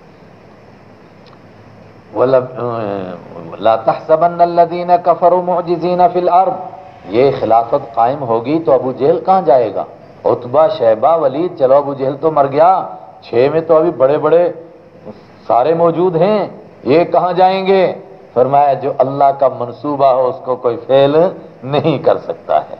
ला तहसबन्ना है कुरान पढ़ने वाले, गुमान न कर। अल्लदीन कफरू, उन लोगों को जिन्होंने इनकार किया मोजीना कि वो शिकस्त दे देंगे। फिर अर्दी ज़मीन में किसको? अल्लाह को। वो आजिज कर देने वाले हैं अल्लाह को ज़मीन में। नहीं, उसके मनसूबों को कोई फेल नहीं कर सकता। ये करेंगे फिर माबाहुमन्नार इनका ठिकाना जहन्नम है। वाला बीसल मसीर, और बहुत बुरी है वो लौट कर जाने की जगह। बाद लोग इस रिवायत को सामने रख करके एक बात कहते हैं, मुमकिन है ऐसा भी हो, अल्लाह बेहतर जानता है। हर दौर में वैसे रिवायत को सामने रख करके लोग उसी हिसाब से तशरी करते रहे कि खिलाफत का दौर तो हमको मालूम है, और उसके बाद फिर मुल्कन आजन ये जो लंबा अरसा गुजरा जब तक हमारे पास बादशाही थी, ये मुल्कन आजन था, काट खाने वाली बादशाही। उसके बाद मुल्कन जबरियतन, जब हम गुलाम हो गए, पूरी दुनिया के अंदर, कहीं फ्रांसियों के गुलाम, कहीं बरतानवियों के गुलाम, कहीं इतालवियों के गुलाम, सारी दुनिया की तारीख यही है आपके सामने। उसके बाद जो आपने ये उसी तीसरे दौर से कहते हैं कि हम गुजर रहे हैं। इसके बाद सुम तकून खिलाफा फिर इसके बाद खिलाफत आएगी, अला मिनहाज नबुआ अल्लाह मरजुकना अल्लाह नसीब करे कि आप और मैं भी देखें। या यूहल्लदीन आमनु है वो लोगो जो ईमान लाए हो लियस्तिनकुम चाहिए कि इजाज़त मांगे तुमसे। अल्लदीन मलकत ईमान वो जिनके मालिक हैं दाने हाथ तुम्हारे। वल्लदीन लम यबलुगुल और वो जो नहीं पहुँचे हैं अभी बलूगत को। मिन कुम तुम में से सलासा मर्रात तीन वक्तों में। क्या मतलब? अचानक ऊपर बात कोई चल रही थी, दूसरी बात कैसे आ गई? ये अंदाज कुरान का समझें। मैंने कल भी अर्ज़ किया कि कुरान बोरी भर कर के अहकाम नहीं देता। आर्टिकल इतना आर्टिकल इतना आर्टिकल इतना, दफ़ा नंबर इतना, दफ़ा नंबर इतना। ऐसा नहीं कानून बयान करता। एक कानून बयान करता है, फिर उस पर अमल करने के लिए तैयार करता है। और फिर खरे और खोटे को अलग अलग कौन कच्चे, कौन पक्के, कौन धोखेबाज, कौन मुनाफिक, कौन मोमिन, अलग करता है। उस पर अमल के लिए तैयार होता है। वो ऊपर अहकाम बयान हुए थे कुछ पर्दे के, लेकिन कुछ बचा करके रखे। बीच में कुछ ताकीद की बातें आई। अब वो जो बचे हुए अहकाम है, वो भी सुनो। और सबसे पहला क्या हुक्म है? फरमाया, तुम्हें बताया गया था कि किसी के घर में जाओ तो इजाज़त लेकर के जाओ। तो किसने इजाज़त लेनी थी? बालिग ने। अब यहाँ एक दूसरा हुक्म है कि अगर तुम्हारे कोई गुलाम हैं और तुम्हारे कोई बांदी हैं, नौकर हैं, चाकर हैं, उनको भी और तुम्हारे बच्चों को भी इजाज़त लेकर के आना चाहिए तीन वक्तों में। बाकी वक्त में अगर इजाज़त ना लें तो कम से कम तीन वक्तों में इजाज़त लें। कौन कौन से वक्त? मिन कबल सलातिल फज्र। फज्र की नमाज़ से पहले वहीन तजाउन सियाबकुम। और जिस वक्त में तुम उतार देते हो, रख देते हो अपने कपड़ों को मिन जहीरती दोपहर में। जब दोपहर को तुम अपने कपड़ों को उतार देते हो उस वक्त में। वमिन बाद सलात ईशा और ईशा की नमाज़ के बाद, क्योंकि दोपहर के वक्त में कैलूला किया जाता है। जायद कपड़े उतार कर आदमी आराम करता है ईशा के बाद आराम करता है। ऐसे वक्त में इजाज़त मांग कर आनी चाहिए। ऐसा ना हो कि अचानक आ जाएँ और किसी ऐसी हालत में अपनी अम्मी अबू को देखें कि जिसमें देखना अच्छा ना हो। सलासमर्रात औरातिन, ये पर्दे के तीन वक्त हैं लकुम तुम्हारे लिए। अलैकुम नहीं है तुम पर वला अलैहिम, नहीं है उन पर जुनाहन कोई गुना बादा इसके बाद। इन तीन वक्तों के अलावा अगर वो आ जाए तो कोई हर्ज है? क्यों? तवाफून अलैकुम, चक्कर काटने वाले हैं वो तुम्हारे सामने अला बाज बाज तुम में से बाज पर। अब दौड़ते रहते हैं बच्चे, खेलते हुए बंद, अंदर गए, फिर बाहर गए, अंदर आए, बाहर निकले। तो अगर हर मरता इजाज, अम्मी इजाज अम्मी इजाज तो तो बेचारी इजाज दे दे के थक जाएगी। नहीं, दूसरे वक्तों में ये पाबंदी नहीं, तीन वक्तों में पाबंदी है। देखिए कौन इस पर अमल कर रहा है। कजाली का युबैनयात इसी तरह अल्लाह खोल खोल कर बयान करता है अपनी निशानियों को, आयात को, अहकाम को तुम्हारे सामने, वल्लाहु अलीमुन हकीम। क्यों बयान करता है? इसलिए कि अल्लाह जानने वाला है और अल्लाह हिकमत वाला है। तुम नहीं जानते हो, अल्लाह बता रहा है। वहीदा बलगल्लतफाल और जब पहुँच जाए बच्चे में इनको, तुम में से अलहुलुम बुलूगत को पहुँच जाए, हुलुम। बालिग हो जाए बच्चे। पहले तीन वक्तों में इजाज़त लेते थे। अब बड़े हो गए। तो जैसे बड़े हो जाएँ फ़ौरन उनको हुक्म दे दो भाई अब इजाज़त के बगैर अंदर आने की इजाज़त किसी वक्त भी इजाज़त के बगैर। फल यस्ताजिनो तो चाहिए कि वो इजाज़त लेकर आए। कम अस्ताजन अल्लादीन मिन जैसा कि वो इजाज़त लेकर आते थे जो इनसे पहले थे यानी इनसे बड़े। जिस तरह बड़े इजाज़त लेते हैं अब उस तरह क्या करें? बोलो हमारे यहाँ बड़े भी नहीं लेते तो छोटों की बात ही क्या है, है? किचन में अंदर आकर के घुस के पूछते हैं। चार पाँच गेट क्रॉस करके किचन में आकर के पूछते हैं, इजाज़त है? अब क्या रही इजाज़त कजाली का युबैनल्ला इसी तरह अल्लाह खोल खोल कर बयान करता है, तुम्हारे लिए आयाती ही अपनी आयतों को, अपने हुक्मों को। वल्लाह अलीम हकीम। अल्लाह जानने वाला है, और हिकमत हिकमत वाला मतलब उसका जो भी हुक्म है, उसी में तुम्हारा फ़ायदा है। उसमें हिकमत है, उसमें राज है। तुम समझो ना समझो, तुम्हारी खोपड़ी में आए ना आए, मगर फ़ायदा इसी में है। एक और मसला रह गया था, वो भी सुनो। मर्द बुढ़ा चाहे जितना मर्ज़ी बुढ़ा हो जाए, उसका कोई हुक्म बदला नहीं, मगर औरत का हुक्म बदल गया। पचास साल, पचपन साल तक है तो अभी तक मेंसेस आ रहे हैं, और निकाह की उम्मीद है, लेकिन जब ये उम्र क्रास कर जाएँ, और अब बुढ़ापे की दहलीज पर कदम रख लिया, निकाह की उम्मीद नहीं तो उसके लिए हुक्म में थोड़ी तखफीफ आ गई, हल्का हो गया हुक्म। बूढ़ी का हुक्म हल्का हो गया, जवान के मुकाबले में क्या हुक्म है? वल कवाइद और वो औरतें जो बैठ गई हैं मिनन निसा औरतों में से अल्लाह ला अर्जुन निकाह, यानी जो उम्मीद नहीं रखती हैं निकाह की। इससे भी आप एक बात समझो, कुरान का तरीका क्या? पर्दे से बात बयान करना। खोलकर बयान नहीं करता है। अब कहना ये चाहता है कि जिसको हैज़ वगैरह आना अब बंद हो गया है, लेकिन वो बेहयाई वाली बातें हैं। कल कुरान बाप पढ़ाएगा, बेटी पढ़ेगी। हो सकता है कि माँ पढ़ाए तो बेटा पढ़े तो उनको शर्म नहीं आएगी ये बातें पढ़ते हुए। इशारों वाली बातें हैं। भले हिन्न जुनाहन तो उन औरतों पर कोई गुनाह नहीं यजान सियाबा हन्ना कि वो अपने कपड़े रख दें। अब आप मुझे ये बताइए, जो कह रहे थे कि चेहरे का पर्दा नहीं है, बाकी कुर्ते पहने हुए थे तो बूढ़ी को इजाज़त हुई कि अपने कपड़े रख दे तो नंगी होके बाज़ार जाए? इनकी मत मारेगी जो कहते हैं कि चेहरे का पर्दा नहीं, फिर पर्दा है किस चीज़ का? भाई, जवान को चेहरे का पर्दा करना है, बूढ़ी को कह दिया गया कि वो अपने कपड़ों को रख दे, मगर इसमें भी एक शर्त लगाई, गैर मुतबर इस हाल में कि वो अपनी जीनत को ज़ाहिर करने के लिए ऐसा ना कर रही हो।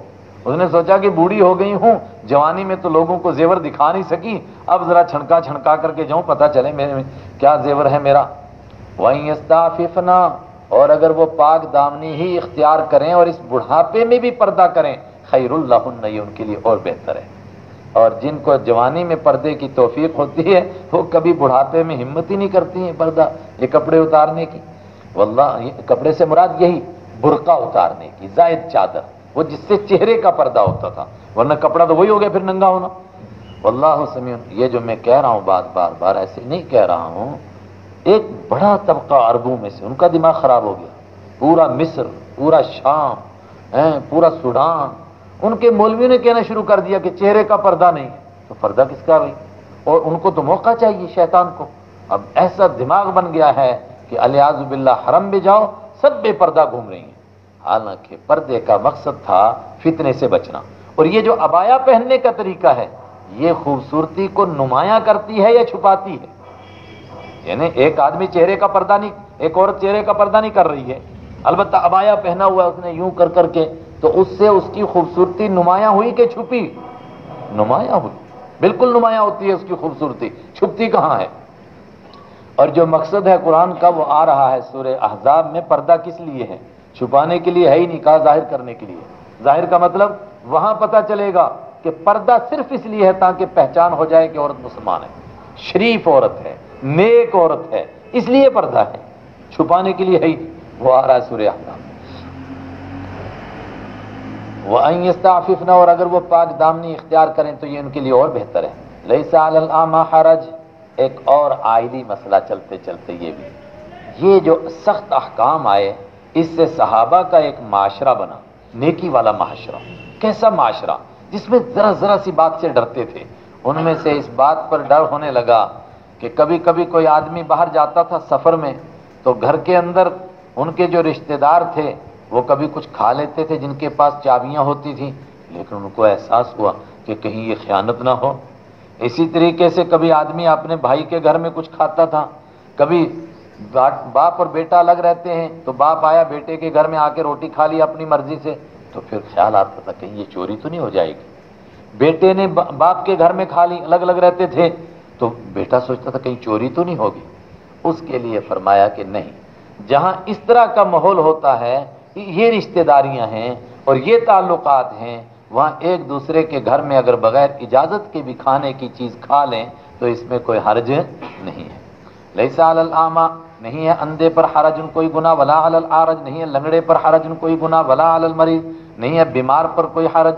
वला अला अनफुसिकुम, नहीं है तुम्हारे ऊपर कोई हर्ज। अंता कुलूम बुयूतिकुम, के खा लो तुम अपने घरों में से। और बुयूती आबाइकुम या अपने बाप दादा के घर में से। और बुयूती उम्महातिकुम, या अपनी माँ के घर में से। ये अरबों का रिवाज है। वहाँ ज्वाइंट फैमिली का तस्वर नहीं है। न इस्लाम ने ज्वाइंट फैमिली का कोई कंसेप्ट पेश किया है। मुश्तरक ख़ानदान नहीं। उनके यहाँ बाप अलग, माँ का घर अलग, बेटे का घर अलग। और बुयूती इखवानिकुम, घर से बस कमरे अपने अपने बुयूती इखवानिकुम, या अपने भाइयों के घरों से बुयूती अखवातिकुम, या अपनी बहनों के घरों से बुयूती आमामिकुम, या अपने चाचों के घरों से बुयूती अम्मातिकुम, या अपनी फूफियों के घरों से बुयूती अखवालिकुम, या अपने मामू के घरों से बुयूती खालातिकुम, या अपनी खाला के घर से और मा मलक तुम मफातिहू या उन घरों से जिनके मालिक हो तुम मफातिहा उसकी चाबियों के। यानी उन या तो यह है कि किसी ने चाबी आप ही को दे दी और कहा कि भाई, घर की हिफाजत कीजिएगा और सब कुछ आपका है, घर आपका, सब कुछ आपका। इस तरह कह दिया तो इस घर के अंदर कोई खाने की चीज़ है, अगर आदमी ने खा ली तो कोई हर्ज है? और सदीकी कुम या अपने दोस्त के घर से। एक मसला बयान हुआ, एक और मसला। साहबा कराम, तकवे का माहौल बना। तो घबराने लगे कि अगर मिलकर के खाएँगे तो अंधा सोचता था, मुझे तो पता नहीं मेरे साथी ने कितने लुक में खाए तो मैं कहीं इकट्ठा ही नहीं खाने लग जाऊँ। है ना? जगाने के लिए बता रहा हूँ। एक अंधा और दो अंधे खा रहे थे तो एक का हाथ दूसरे से टकराया तो किसी ने दूसरे के कान में कहा, वो दोनों हाथ से खा रहा है। तो इसने दोनों से शुरू कर लिया। अच्छा। तो उसने तो देख लिए इसके दोनों हाथ तो उसको कहा, वो तो दोनों से खा रहा उसने फिर मुँह से शुरू कर लिया। अच्छा। तो लेकिन ये तो हमारा माहौल है। वहाँ क्या हुआ? अंधे को घबराहट हो गई कि कहीं मैं दूसरे के साथ खाऊं और मैं ज़्यादा खा जाऊँ, वो कम खाए। और जो अंधे नहीं थे, सेहतमंद थे, उनको डर हो गया कहीं हम ज़्यादा ना खा जाए। और लंगड़े को डर हुआ कि कहीं मैं अगर दूसरे आदमी को साथ खाऊं तो वो मेरी वजह से घिन करे और वो उतना ना खाए जितना मैं खाऊं। और जो लंगड़ा नहीं था और जो बीमार नहीं था, उसको डर हुआ कि बीमार आदमी आहिस्ता आहिस्ता खाता है।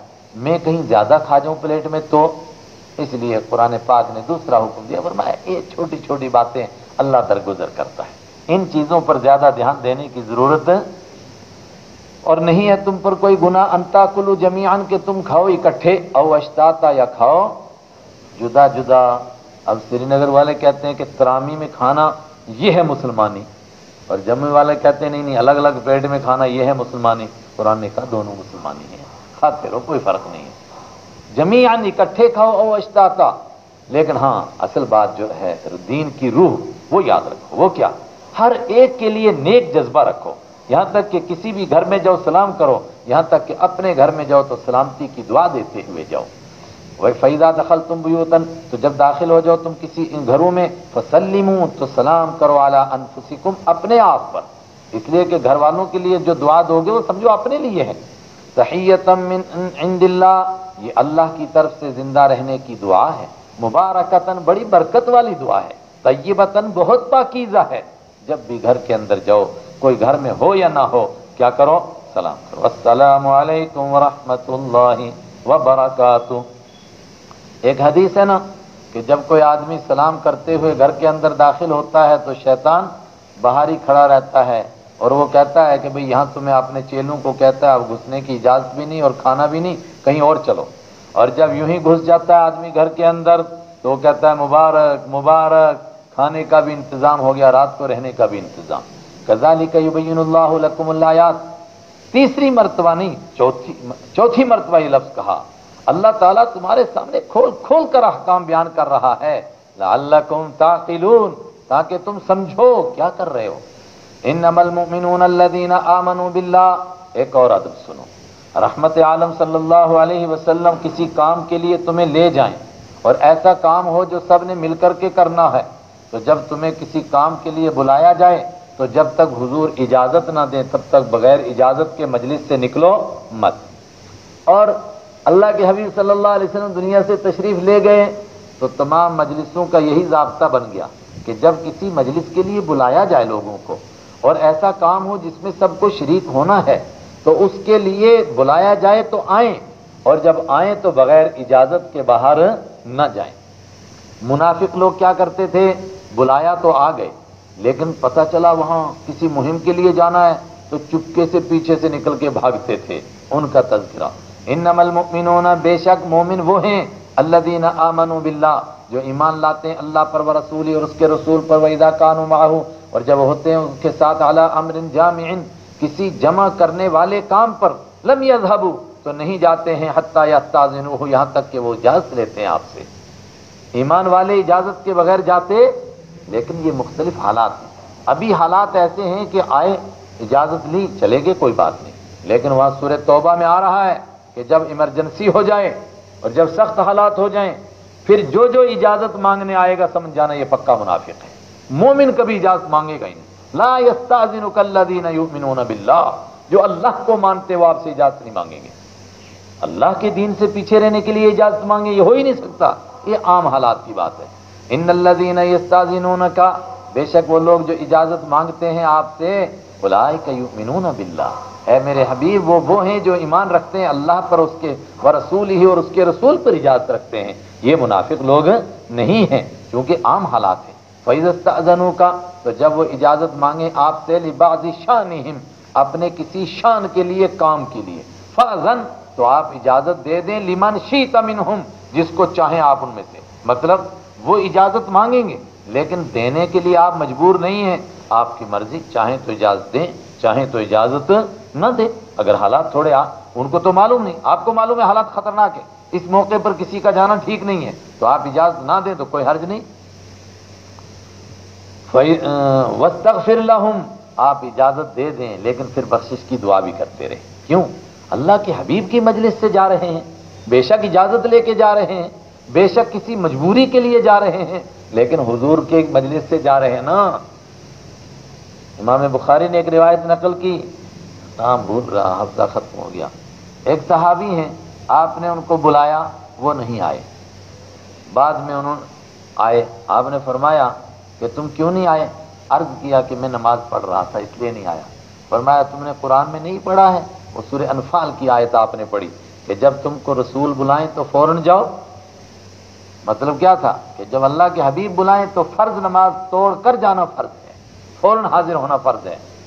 इन अल्लाह गफूर तो फिर अगर कोई इजाज़त ले रहा है, मजबूरी, आप उसके लिए बख्शिश की दुआ करें। इन अल्लाह गफूर रहीम, बेशक अल्लाह ताला बख्शने वाला, रहम करने वाला। इससे ये भी मालूम हुआ, हमारे साथियों में से कोई परेशान है और इजाज़त लेके जा रहा है, महरूम हो रहा है, नेकी के काम से, कुरान की मजलिस से। मगर हमको क्या करना है? उसकी मजबूरी पर उसको इजाज़त भी देनी है, मगर उसके लिए दुआ भी करनी है कि अल्लाह ताला इसको महरूमी से बचाए। कल दो जवान आए, वो शुपियान वाले, इजाज़त चाहिए जी, क्यों? कहते हैं, ये बीमार है। तो भाई, बीमार इजाज़त ले। तो कहता है, जी, ये जाएगा कैसे? मैं इसको छोड़ के आऊँगा। मैंने कहा, अल्लाह माफ़ करे, चलो जो ला तजालू दुआ रसूल। और ये तो आया ना कि अगर मजलिस में आए तो फिर जाओ मत, लेकिन जब हुजूर बुलाएँ तो उसका भी कानून सुनो। ला तजालू दुआ रसूल। मत बनाओ तुम रसूल के बनाने को। बैनकुम आपस में, कदवाई बाजिकुम बाजा। जिस तरह आपस में एक दूसरे का बुलाना होता है। मतलब जिस तरह आपस में किसी ने बुलाया तो आदमी सोचता है, ठीक है, चला जाऊँगा। यहाँ तक कि अगर माँ बुलाए, बाप बुलाए तो फ़र्ज़ नमाज़ तोड़कर जाना ज़रूरी है? नहीं। फ़र्ज़ नमाज़ नहीं तोड़ हाँ नफल तोड़ने हैं। सुन्नत भी तोड़नी है, तोड़कर जाना है। माँ बुला रही, बाप बुला रहा है। सुन्नतें तोड़ दो। लेकिन फ़र्ज़ नहीं तोड़ सकते। लेकिन हबीब किबरिया बुलाए तो फ़र्ज़ तोड़ करके जाओ। ला तजालू। आम लोगों की तरह उनके बुला, बुला, बुलाने को मत बनाओ। और इसका एक दूसरा माना भी। अल्लाह के हबीब को भी उस तरह मत बुलाओ जिस तरह आपस में एक दूसरे को बुलाते हो। एक दूसरे को किस तरह बुलाते हैं? हे गुल काका हे फलाने नाम लेते हैं। रहमत आलम सल्लल्लाहु अलैहि वसल्लम का नाम लेकर बुलाना आपको जायज़ नहीं और बहुत बदकिस्मती का दौर आया कि एक दूसरे की जिद में हुजूर का नाम गुस्ताखी से लिखते हैं मस्जिद की पेशानी पर, या अल्लाह, या मोहम्मद या मोहम्मद या मोहम्मद कह करके नौज बिल्ला अलैहि अल्लाह के हबीब सल्लल्लाहु अलैहि वसल्लम को, या यहूदियों ने बुलाया, या मक्का के काफिरों ने बुलाया। किसी ईमान वाले ने, मुनाफिक ने भी नहीं बुलाया कभी, हिम्मत ही नहीं हुई। जब भी बुलाया, क्या कहा? या रसूल अल्लाह या नबी अल्लाह, या हबीब अल्लाह। ए अल्लाह के हबीब, या मोहम्मद, किसी ने नहीं कहा। लेकिन ये एक दूसरे की जिद में मुसलमान वहाँ पहुँच गए कि वो कहता मैं लिखूँगा, क्या करेगा तू? मैं ऐसे पुकारूँगा। और यूँ भी कहते या मोहम्मद मोहम्मद मैं सोचाऊं मैं कि या मोहम्मद कहते कहते अलिया बेअदबी है। हुजूर का नाम मत लो। ज़ोर से भी मत पुकारो। ला तरफाऊ असवातकुम फौक सौतिन नबी। हुजूर की आवाज़ से ज़्यादा आवाज़ निकालते हो? और रोजा अकदस पर हाजिरी हो तो वहाँ भी इस अंदाज से आवाज़ लगानी है कि हमारी आवाज़ कब्र शरीफ तक जाए। उससे ज़्यादा नहीं, उस बिल्कुल दिल दिल में भी नहीं। ऐसा वही एहसास रखना हमने। यकीन अल्लाह जानता है अल्लाह दीन यतसल्लून उन लोगों को जो खिसकते हैं मिनकुम, तुम में से लिवाजन आड़ लेकर। ये मुनाफिक थे। आगे की आयत बड़ी सख्त खुद भी समझें और अपने साथियों को भी सुनाएँ। फल यहजर, डरना चाहिए। अल्लाह दीन उन लोगों को, युखालिफून अन अमरी ही जो हुजूर के हुक्म की मुखालफत करते हैं। उनको डरना चाहिए। किससे? अन तुसीबहुम फितनतुन, कि आ जाए उनके ऊपर कोई बड़ी आजमाइश। और आजाब अलीम, या आ जाए उनके ऊपर दर्दनाक आजाब कहते, मैंने कोई सुन्नत ही की तो मुखालफत की ना? सुन्नत ही तो छोड़ी। इसमें कौन सा बड़ा मसला है? अरे सुन्नत छोड़ने पर अल्लाह क्या कह रहा है? डरना चाहिए कि अल्लाह की तरफ़ से कोई आजमाइश आए। डरना चाहिए कि कोई दर्दनाक अजाब आ जाए। सुन्नत की मुखालफत, कोई मुखालफत ही नहीं, कोई मसला ही नहीं है। और आ रही हैं आजमाइशें। और परेशान हैं, मगर समझ ही नहीं रहे कहाँ से आ रही हैं। अला सुनो इन माफ़ी समावाती वाल अल्लाह ही का है जो आसमानों में हर जो ज़मीन में कद यालमा अन तुम वो यकीन जानता है, माँ उस हालत को अन तुम ही जिस पर तुम हो। कौन हुजूर के साथ किस तरह मामला कर रहा है? कौन उनको किस तरह, उनके सुन्नतों और उनके अहकाम को किस तरह ले रहा है? वयोम युरजाऊन और जिस दिन तुम लौटाए जाओगे अल्लाह के सामने फयुनबी वो बता देगा तुमको भी माँ अमिलो। जो कुछ तुमने अमल किए थे, वल्लाह बिकुल्ल इन अलीम। और अल्लाह हर चीज़ को जानने वाला है। बिस्मिल्लाहिर्रहमानिर्रहीम। सूरतुल पहले भी मक्की सूरतें थी और अब फिर क्या मक्की सूरतें। बीच में एक सूरत क्या आई? मदनी। ये जीवनदास चूँकि अहकाम बड़े ज़बरदस्त हैं अब आगे कई सूरतें मक्की होंगी। कहाँ तक? सूरह अहजाब तक। अहजाब के बाद फिर म, वो मक्की अहजाब मदनी उसके बाद फिर मक्की सूरतें शुरू हो जाएँगी। झंझोड़ने के लिए जहन बनाने के लिए। क्या कर रहे हो? किसके हुक्म की मुखालफत कर रहे हो? क्यों नहीं अहकाम पर अमल करते हो? मक्की सूरत और मक्की के इब्तदाई दौर की सूरत, बीच के दौर की। तबारकल्लज़ी नज़्ज़ल फुरकान। बड़ी बरकत वाली है वो ज़ात नज़्ज़ल फुरकान। जिसने फुरकान को नाजिल किया। अभी ऊपर बार बार फरमाया जा रहा था ना, अल्लाह बयान कर रहा है अपने अहकाम को। अल्लाह बयान कर रहा है अपनी आयतों को। फरमाया, आयतें क्या पूरा कुरान दे दिया? और कुरान को फुरकान कहा। फुरकान के मतलब बहुत ज़बरदस्त फ़र्क करने वाली चीज़, जो हक और बातिल में, झूठ और सच में फ़र्क करती है।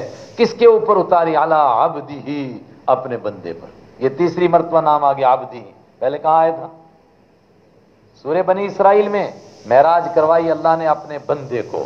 फिर आया था सूर्य कहफ में। अल्लाह ने उतारी किताब अपने बंदे पर। यहाँ फरमाया, फुरकान उतारा किस पर? अपने बंदे पर।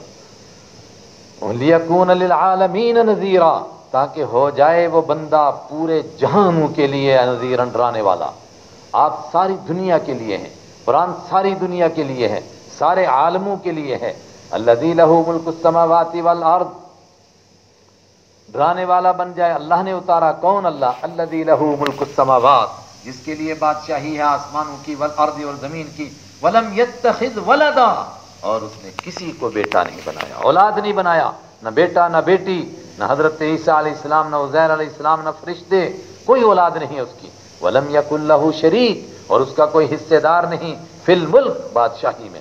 वह खलक कुल्ल शई, और उसी ने हर चीज़ को पैदा किया। जब सबको पैदा करने वाला वो है तो उसका पार्टनर कोई कैसे बन जाएगा? कद्दर तकदीरा तो उसने हर चीज़ का अंदाज़ा लगाया ज़बरदस्त तरीके से। पीछे मैंने अर्ज़ किया तकदीर का मतलब हर चीज़ को पैदा किया और पैदा करने के साथ ही उसने कैसे ज़िंदगी गुजारनी है और क्या क्या ज़िंदगी में मोड़ आएँगे, वो सब तय कर दिए। वह मिंदूनी ही आलिहा। उसके बावजूद उन्होंने बना लिए हैं मिंदूनी ही अल्लाह के वरे। अल्लाह के अलावा आलिहतन कुछ खुदा। ये वरे का तर्जमा शाह अब्दुल कादिर का तर्जमा है। वरे का क्या तर्जमा होता है? फरमाते हैं कि वो ये नहीं कहते थे कि अल्लाह नहीं है। और गैरुल्ला है। मक्का के काफिर कहते थे, अल्लाह है, मगर उससे इधर इधर, उससे कम दर्जे के, कम दर्जे के कुछ छोटे छोटे हैं। उसी को वरे। और नहीं, वत्तखजो, और उन्होंने बनाया अल्लाह के वरे या अल्लाह के अलावा आलिहतन ऐसे खुदा, ला यखलुकून शैया जो कुछ भी पैदा नहीं करते और कमाल बात है, मक्का वाले जिनको खुदा मानते थे, उनके लिए भी उनका ये दावा नहीं था कि इन्होंने कोई चीज़ पैदा की है। और आज भी दुनिया भर में जिन जिन के लिए खुदाई का दावा है, उनके लिए ये दावा नहीं है कि कायनात इन्होंने बनाई है। ला यखलकून शैया वो कुछ भी पैदा नहीं करते हैं। वह युखलकून, वो तो पैदा किए जाते हैं। वला यमलिकून, और वो मालिक नहीं अली अनफुसहिम अपने लिए भी जर्रन, न नुकसान के, वला नफ़ान और न नफ़े के। वला यमलिकून मौतों वला हयात। और नहीं मालिक हैं वो मौत के भी और ना ज़िंदगी के। वला नशूरा, और नहीं मालिक हैं वो मरने के बाद दोबारा ज़िंदा करने के। जिस जिसको लोगों ने हाजत रवा और मुश्किल कुशा माना, खुदा माना, सजदा, मसजूद माना, मबूद माना, वो सब के सब कैसे हैं? उन्होंने कुछ पैदा नहीं किया। वो नफ़े और नुकसान के मालिक नहीं। वो किसी की मौत और ज़िंदगी के मालिक नहीं। वो मरने के बाद दोबारा ज़िंदा करने के मालिक नहीं। वकाल अल्लादीन कफ़र, इसके बावजूद कहा उन लोगों ने जिन्होंने कुफर किया इनहाजा इफ़ नहीं है ये मगर झूठ है, ये कुरान बिल्कुल झूठ की ऐसी गढ़ा इफ़ तराहू गढ़ा है इसने इसको खुद, व आन कौम आखरीन, आखरून, और मदद की है इनकी, इस कुरान के बनाने पर कौम आखरून, कुछ दूसरे लोगों ने। ये बात इन चौदहवें पारे में तफसील से आएगी और और भी एक दो मकाम पर कि वो क्या कहते थे कि मक्का में कुछ गुलाम रहते हैं यहूदी और ईसाई। असल में ये पिछले लोगों की किस्से कहानियाँ हैं कुरान। तो ये गुलाम इनको बता देते हैं, वो कहानियाँ और इनकी मदद करते हैं इस कुरान के बनाने में तो ये उन गुलामों से पूछ पूछ करके कुरान बनाते हैं। सुबह अल्लाह फ़कत जाओ जुल्मम वजूरा। यकीनन वो आ गए।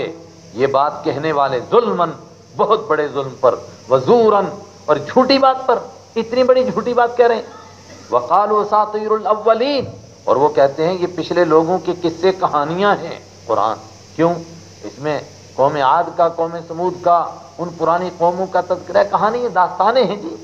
इकतबहा इसको लिखवाया है इन्होंने। इकतबा के मैंने लिखवाना बाब इफ्तियाल। लिखवाया है इन्होंने। किससे, चलो जी, खुद तो नहीं लिख सकते हैं, मगर लिखवाया है इन गुलामों से, बांदियों से, इनसे पूछ पूछ करके वही तुमला तो वही इमला करवाए जाते हैं।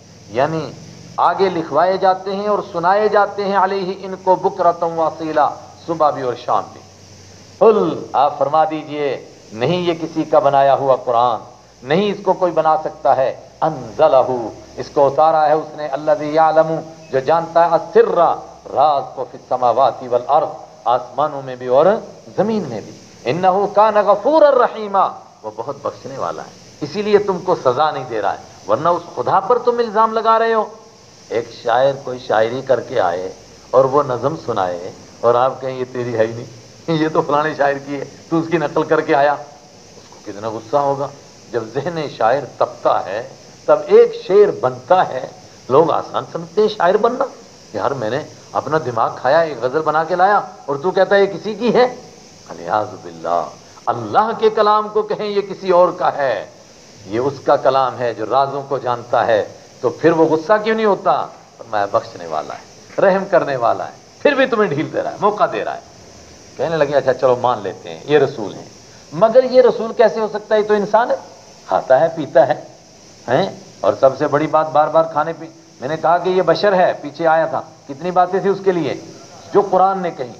कालू माली हाजर रसूल। कहने लगे, कैसे हो सकता है ये रसूल? क्या हो गया इस रसूल के लिए? या कुलुब तहाम खाना खाता है? ये कैसे रसूल हो सकता है? खाना खाने वाला रसूल?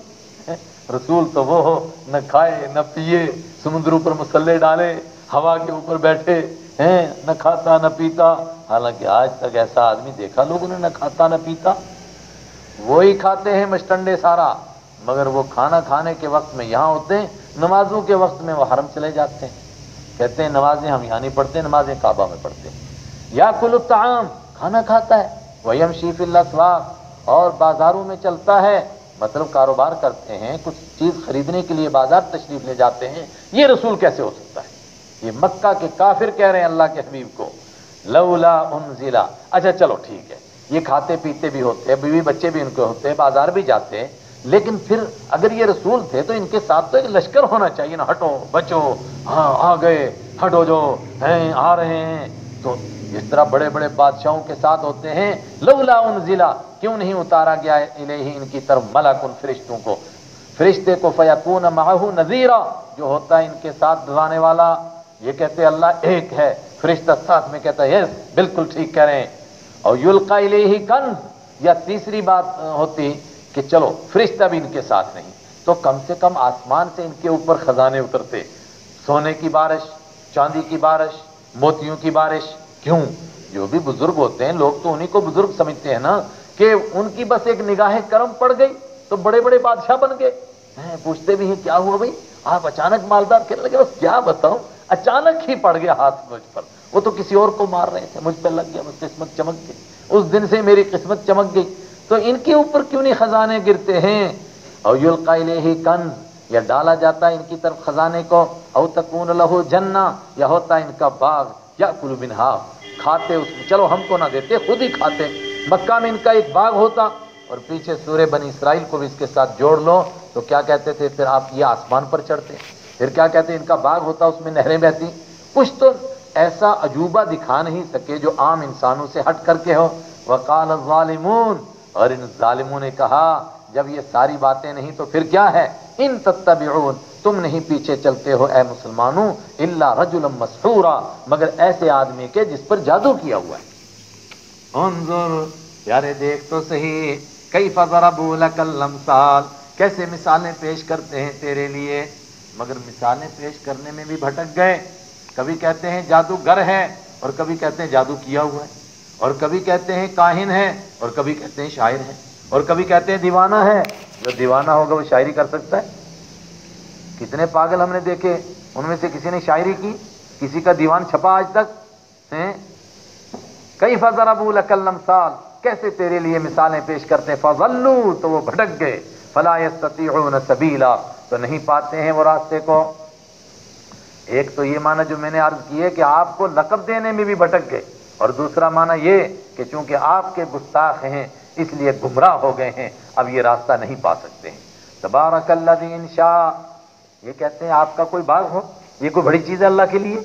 आपके ऊपर खजाने गिजरे सोना और चांदी ये कोई बड़ी चीज़ अल्लाह के लिए? आपके साथ फरिश्ते आ जाएँ, ये आप अल्लाह के लिए कोई मुश्किल काम है? तबारा का बरकत वाली है अल्लाह दी वो जात इन अगर वो चाहे, अगर वो चाहे, वो चाहता नहीं है। जाल का बना दे वो आपके लिए खैरम जाली का इससे बेहतर सारी बातें मिले इससे बेहतर। ये कहते हैं, एक बाग बना दे वो जन्नातिन। कई कई बाग। तजरी मिन हल अनहार जिनके नीचे नहरें बहती हूँ। वह जल्ला का कसूरा। और आपका एक महल ना हो, बल्कि कई कई महलात हूँ। एक मोहल्ले में एक, दूसरे में एक, तीसरे में एक, ताइफ में एक, मक्का में एक। फरमाया, बात ये नहीं। असल बात यह है, ये मौत को भूल गए, कब्र को भूल गए, महशर को भूल गए, क्यामत को भूल गए। जब आदमी आखरत को नहीं मानता फिर ये टेढ़ी बातें दिमाग में आती हैं। बल्कि बिस्सा बल्कि उन्होंने झुटला दिया क्यामत को। और झूठ जुट, झुटलाते रहो तुम तो क्यामत को झूठ समझते हो मगर क्यामत तो है। वाह तदना और हमने तैयार कर रखा है लिमन खजाबा उसके लिए जिसने झूठ समझा बिस्सा आती क्यामत को सईरन भड़कती हुई आग तैयार कर रखी है उसके लिए। इजारात जब वो देखेंगे जब वो क्यामत देखेगी, वो जहन्नम देखेगी हम इनको। मिम मकान बईद, दूर जगह से आते हुए जहन्नमियों को देखेगी। तो क्या करेगी? जिस तरह भूखा शेर हैं, गर्जने लगता है देख करके अपनी खुराक को तो जहन्नम इनको देख करके गरजेगी। समीऊ ये सुनेंगे, लहा, जहन्नम के लिए तगयुजन, गुस्से में बिबरना, व जफीरा और धाड़ना, चिंगाड़ेगी, धाड़ेगी। गुस्से से बिफरेगी वैजा उल्कू मिनहा, और जब डाले जाएँगे जहन्नम में मकान जयकन तंग जगह में। मुकर्रीन जकड़ करके, दाऊ पुकारेंगे वो वहाँ, हुनाली का वहाँ पर सुबूरा, मौत को। सुबूर के माना, बिल्कुल आदमी खत्म हो जाए, मर जाए। हाय मौत हाय मौत। हाय हाय। जवाब क्या मिलेगा? ला तदउल यौम, मत पुकारो आज सुबूरन वाहिदन एक मौत को। सुबूरन कसीरा। बहुत सारी मौतों को मांगो, मौत को मौत आ चुकी है। अब नहीं मिलेगी वो तुम्हें। का खैर। आप इनसे पूछिए, ये जहन्नम बेहतर है? अम जन्नतुल खुल या हमेशा रहने वाला बाग बेहतर है। फैसला करो। अल्लाह जिस बाग का फैसला, जिसका वादा किया गया है प्रेसगारों से, कानत लहुम जजा जो उनके लिए बदले के तौर पर होगी। वह मसीरन। और जो होगी, उनके लिए लौट कर जाने की जगह। लहुम फीहा, उस जन्नत में होगा। लहुम उनके लिए, फीहा उसमें मायशाऊन, जो भी वो चाहेंगे। अल्लाह अकबर। इसमें क्या वसात है? जो भी वो चाहेंगे। एक चाहेगा सोने का महल, बन गया। दूसरे ने कहा, नहीं अतीक का चाहिए, बन गया। कोई कहे, नहीं, चांदी का चाहिए, बन गया। यहाँ तक के फरमाया, कोई आदमी कहेगा, जी, हल जोतने को दिल चाह रहा है। तो फटाफट खेत भी हाजिर, हल भी हाजिर, बैल भी हाजिर।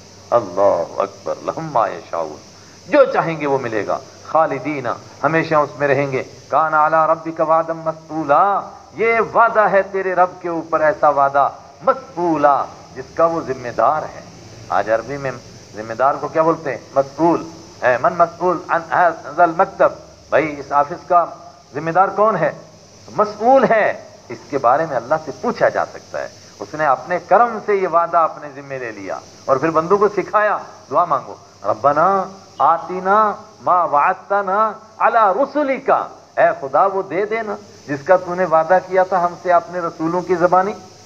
फरमाया, इसका पूछा, ये वादा है जिसका पूछा जाएगा, जिसके बारे में सवाल होगा। वयोम यशुरुहम और जब वो उनको जमा करेगा, वमा याबुदून और उन चीज़ों को भी जिनकी ये पूजा करते थे मिंदून अल्लाह के वरे, फयकूल। तो वो कहेगा तुम अजलल तुम इबादी हाउला।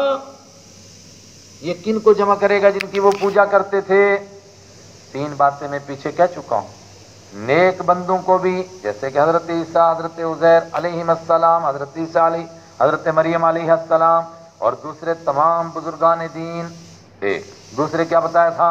वो पत्थर जिनकी ये पूजा करते थे, और तीसरे वो मजहबी और सियासी गुमराह करने वाले लोग, यहाँ कभी कुरान में वो मुराद होते हैं, कभी ये होते हैं। अभी सूर्य आजाब में है, वहाँ उनसे पूछा गया, क्या करते रहे? तो वो क्या जवाब देंगे, रब्बाना ताना सादतना व कुबराना। खुदाया, तेरी नहीं मानी, लीडरों की मानी, मजहबी खड़पेंचू की मानी। फाजलून सबील, ये बदबख्त हमको गुमराह कर गए। लेकिन यहाँ कौन मुराद है? यहाँ बुज़ुर्ग हस्तियाँ भी, बल्कि बुज़ुर्ग हस्तियाँ ही मुराद हुई, ये ज़्यादा करीब है। जब अल्लाह ताला जमा करेगा, फयकूल तो अल्लाह फरमाएगा अन तुम मजलल तुम इबादी। क्या तुमने गुमराह किया मेरे बंदों को हा उलाई इन बंदों को? अम हम सबील। या वो खुद ही रास्ते से भटक गए थे। किसने गुमराह किया? आलू सुबहान का ये नेक बंदे कहेंगे, ए अल्लाह, तेरी जात पाक है। हम ये बात कर सकते थे? कि हम इनको कहते कि हमारी पूजा करना अल्लाह को छोड़कर, माँ कान यम बगीलना मुनासिब नहीं था हमारे लिए, अन मिन का कि हम बनाते तेरे सिवा मिन अलिया आ कोई कार साद हाजत रवा, मुश्किल कुशा, हमने नहीं ऐसा किया। और सूर अनाम में हज़रत ईसा सलाम के लिए बतौर ख़ास है। उनसे अल्लाह पूछेगा, अंत कुलता क्या आपने कहा था कि लोगों से कि मेरी और मेरी वालदा की पूजा करो। वहाँ हज़रत ईसा का भी यही जवाब सुबह का तेरी जात पाक है। हम ऐसी बात कर सकते थे। माँ कान यम बगीलना हमारे लिए मुनासिब नहीं था। अन दूनी का उलिया कि हम तेरे सिवा किसी को अलिया बनाते। वला कि हूँ लेकिन तूने ज़िंदगी गुजारने का सामान दिया इनको। वह आबा और इनके बाप दादा को दिया। हत्ता नसुजिक्रा यहाँ तक कि फिर दुनिया में इतने मस्त हो गए। हाय हाय उर्दू में वैसा लफ्ज नहीं मिलता। जो खा है क्या कहते हैं हम? फिर खा खा के फिट गए। फिट जाना। बैल जब ज़्यादा खाता है ना तो खा खा के हम्म, सिंह मारता है। इधर सिंह इधर सिंह उसको कहते हैं फिट गया खा खा के। अड़क बैड़े वांग बिड़के। क्यों चाहिए सिंह मिट्टी? जे शेरा दा तफा लगा अचवी जासी मिट्टी। बैल सिंह मारता है ना का शेर ने ऐसे ही थोड़ा सा कर दिया सारी खारिश खत्म। हाय हाय। हत्ता नसुजिक्रा यहाँ तक के ये नियामतें खा खा के बस्त हो गए। नसुजिक्रा भूल गए ये नसीहत को। आखिरत ही नहीं याद रही। क्यामत ही याद नहीं रही। कब्र ही याद नहीं रही। कहते, कौन है क्यामत? कौन है कब्र? देख लेंगे जी जब मरेंगे। तो देखेगा क्या वहाँ? वकानू कौमम बूरा। और ये हो गए हलाक होने वाले लोग। जब ये इस तरह हलाक हुए तो फिर क्या हुआ? फिर इन ये शैतान के चकमे में पड़ गए। फिर शैतान ने इनको बुज़ुर्ग लोगों का पुजारी बना दिया। उन, उस शैतानों के पुजारी हैं ये। हमारे पूजा, हमने नहीं इनको ऐसा करने के लिए कहा। आगे सूर्य सवा में आ रहा है। नेक लोग कहेंगे बलकानू या बुदून अल जिन। खुदाया, ये शैतानों के पुजारी हैं। हमने कब ऐसा कहा इनको करने के लिए? अल्लाह ताला फरमाएगा, ओ मिस्टर, फकद कदबू कौम इन्होंने तो तुमको झूठा कह दिया नेक बंधु ने। अब बताओ, तुम कह रहे थे कि ये हमने इनको खुदा बनाया था, वो कह रहे हैं, हमने तो नहीं कहा। बिमा तकूलून, उस बारे में जो तुम कहते थे, इससे पता चला कि पहले ये शिरक करने वाले कहेंगे कि जनाब, हमें पता ही नहीं चला कि ईसा इस्लाम भी खुदा है कि नहीं है। शायद वो कहते थे कि हम मैं भी खुदा हूँ, इसलिए हमने उसको मान लिया था। फमा फमा अब तुम ताकत नहीं रखते हो सरफन, कहीं हट करके जाने की, फिरने की।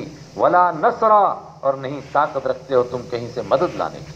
वमई अजलिम और जो भी तुम में से जुल्म करेगा। और सबसे बड़ा जुल्म क्या है? शिरक। नुजिक हो आजाबन कबीरा। हम चखाएँगे उसको बहुत बड़ा आजाब अल्लाह महफज अल्लाह महफज नामिन वमा कबल कमिनल मुरसलीन। और रहा इनका ये एतराज़ कि ये खाते हैं, पीते हैं, बाज़ार में जाते हैं शादी करते हैं, इसलिए ये नबी नहीं हो सकते। फरमाया, इससे पहले नबी आए कि नहीं आए? मक्का के काफिर भी मानते थे कि आपसे पहले नबी आए। मानते थे वो। इब्राहिम इस्लाम को मानते थे इस्माईल इस्लाम को मानते थे, बल्कि जब मक्का फतह हुआ तो मक्का के अंदर जो मूर्तियाँ थी, उनमें एक हज़रत ईसा और हज़रत मरियम और हज़रत इब्राहिम और हज़रत इस्माईल इस्लाम की भी हैं। इसका मतलब वो हज़रत ईसा इस्लाम को भी मानते। हैं तो फरमाया कि ये जो पहले नबी आए थे, ये बताओ, ये खाते थे, पीते थे, नहीं खाते थे? वो भी मानते थे कि इब्राहिम इस्लाम खाना खाते थे पानी, पीते थे बाज़ार, जाते थे शादी उन्होंने की थी, तभी तो उनकी औलाद हुई आगे। ये उन्हीं की तो औलाद थे। उनको नबी मानते हैं, जबकि वो खाते और पीते थे, मगर इनको नबी मानने के लिए तैयार नहीं है। क्या अजीब टेढ़ी सोच। वमा अरसलना, और हमने नहीं भेजा कबला का आपसे पहले मिनल मुरसलीन रसूलों में से, इल्ला इन्ना मगर बात ये थी लया कुलून ताम इन्ना हम बेशक वो सब के सब लया कुलून ज़रूर बिज ज़रूर खाते थे अताम खाना। वयमशून फिल असवाक और बाज़ार भी जाते थे, काम भी करते थे, बाज़ार से चीज़ें खरीद कर लाते थे। वह जालना बाजिन फितना। बात यह है, हमने बनाया तुम में से बाज को बाज के लिए आजमाइश का ज़रिया। अम्बिया किराम को बनाया तुम्हारे लिए आजमाइश, कि वो खाना खाते हैं, तुम कहते हो खाना खाने वाला नबी नहीं हो सकता। खाना खाने वाला बुज़ुर्ग हो ही नहीं सकता। बुज़ुर्ग तो वो होता है ना, खाता है ना, पीता है। हालाँकि वही सब दो दो चार चार का नहीं, दस दस का खाते हैं। अतस्बिरून तो क्या तुम सब्र करोगे, डट जाओगे फिर भी? वकान रब का बसीरा। अतस्बिरून, इसके मुखातब अगर मुसलमान हैं तो है ईमान वालों, तुम डट जाओगे, यानी तुम्हें डट जाना चाहिए। और अगर काफिर हैं तो क्या इसके बावजूद, इतना कुछ समझने के बावजूद भी तुम कुफर पर डटे रहोगे? वकान रब का बसीरा और तेरा रब देखने वाला है, उससे कोई छुपा हुआ नहीं है। इतना ही रखें। सदक़ल्लाहु मौलाना अज़ीम एक लतीफ़ा सुनाता हूँ। मक्का के मुशरक जो हैं, हज़रत इब्राहिम इस्लाम को मानते हैं कि वो खाना खाते थे, पानी पीते थे, बच्चे भी थे उनके। लेकिन हज़रत रहमत आलम सल्लल्लाहु अलैहि वसल्लम को क्या कहते थे?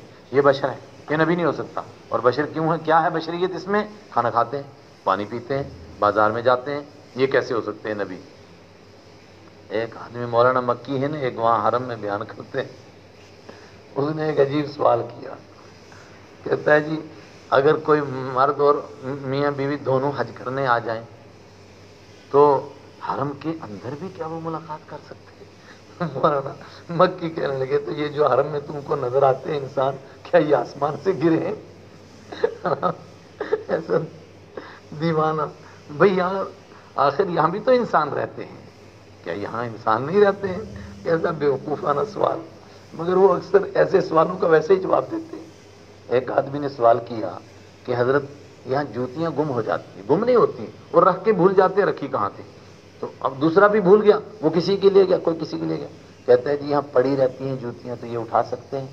मैं बस सुबहान अल्लाह अपनी माँ को तो ले आ, लाया हज करने के लिए। अब तेरी माँ गुम हो गई। तो यहाँ बड़ी काली औरतें घूम रही हैं। तो तू अपनी माँ के बजाय इनको ले जाएगा साहब। बहुत गुस्सा आता हरम में भी चोरी करते हो? तुम्हारी जूती पता नहीं कहाँ रखी थी वो वहीं पड़ी होगी तू दूसरे ही उठा के ले जाएगा। हरम के अंदर चोरी करता है। कुछ शर्म करो खुदा के बंदों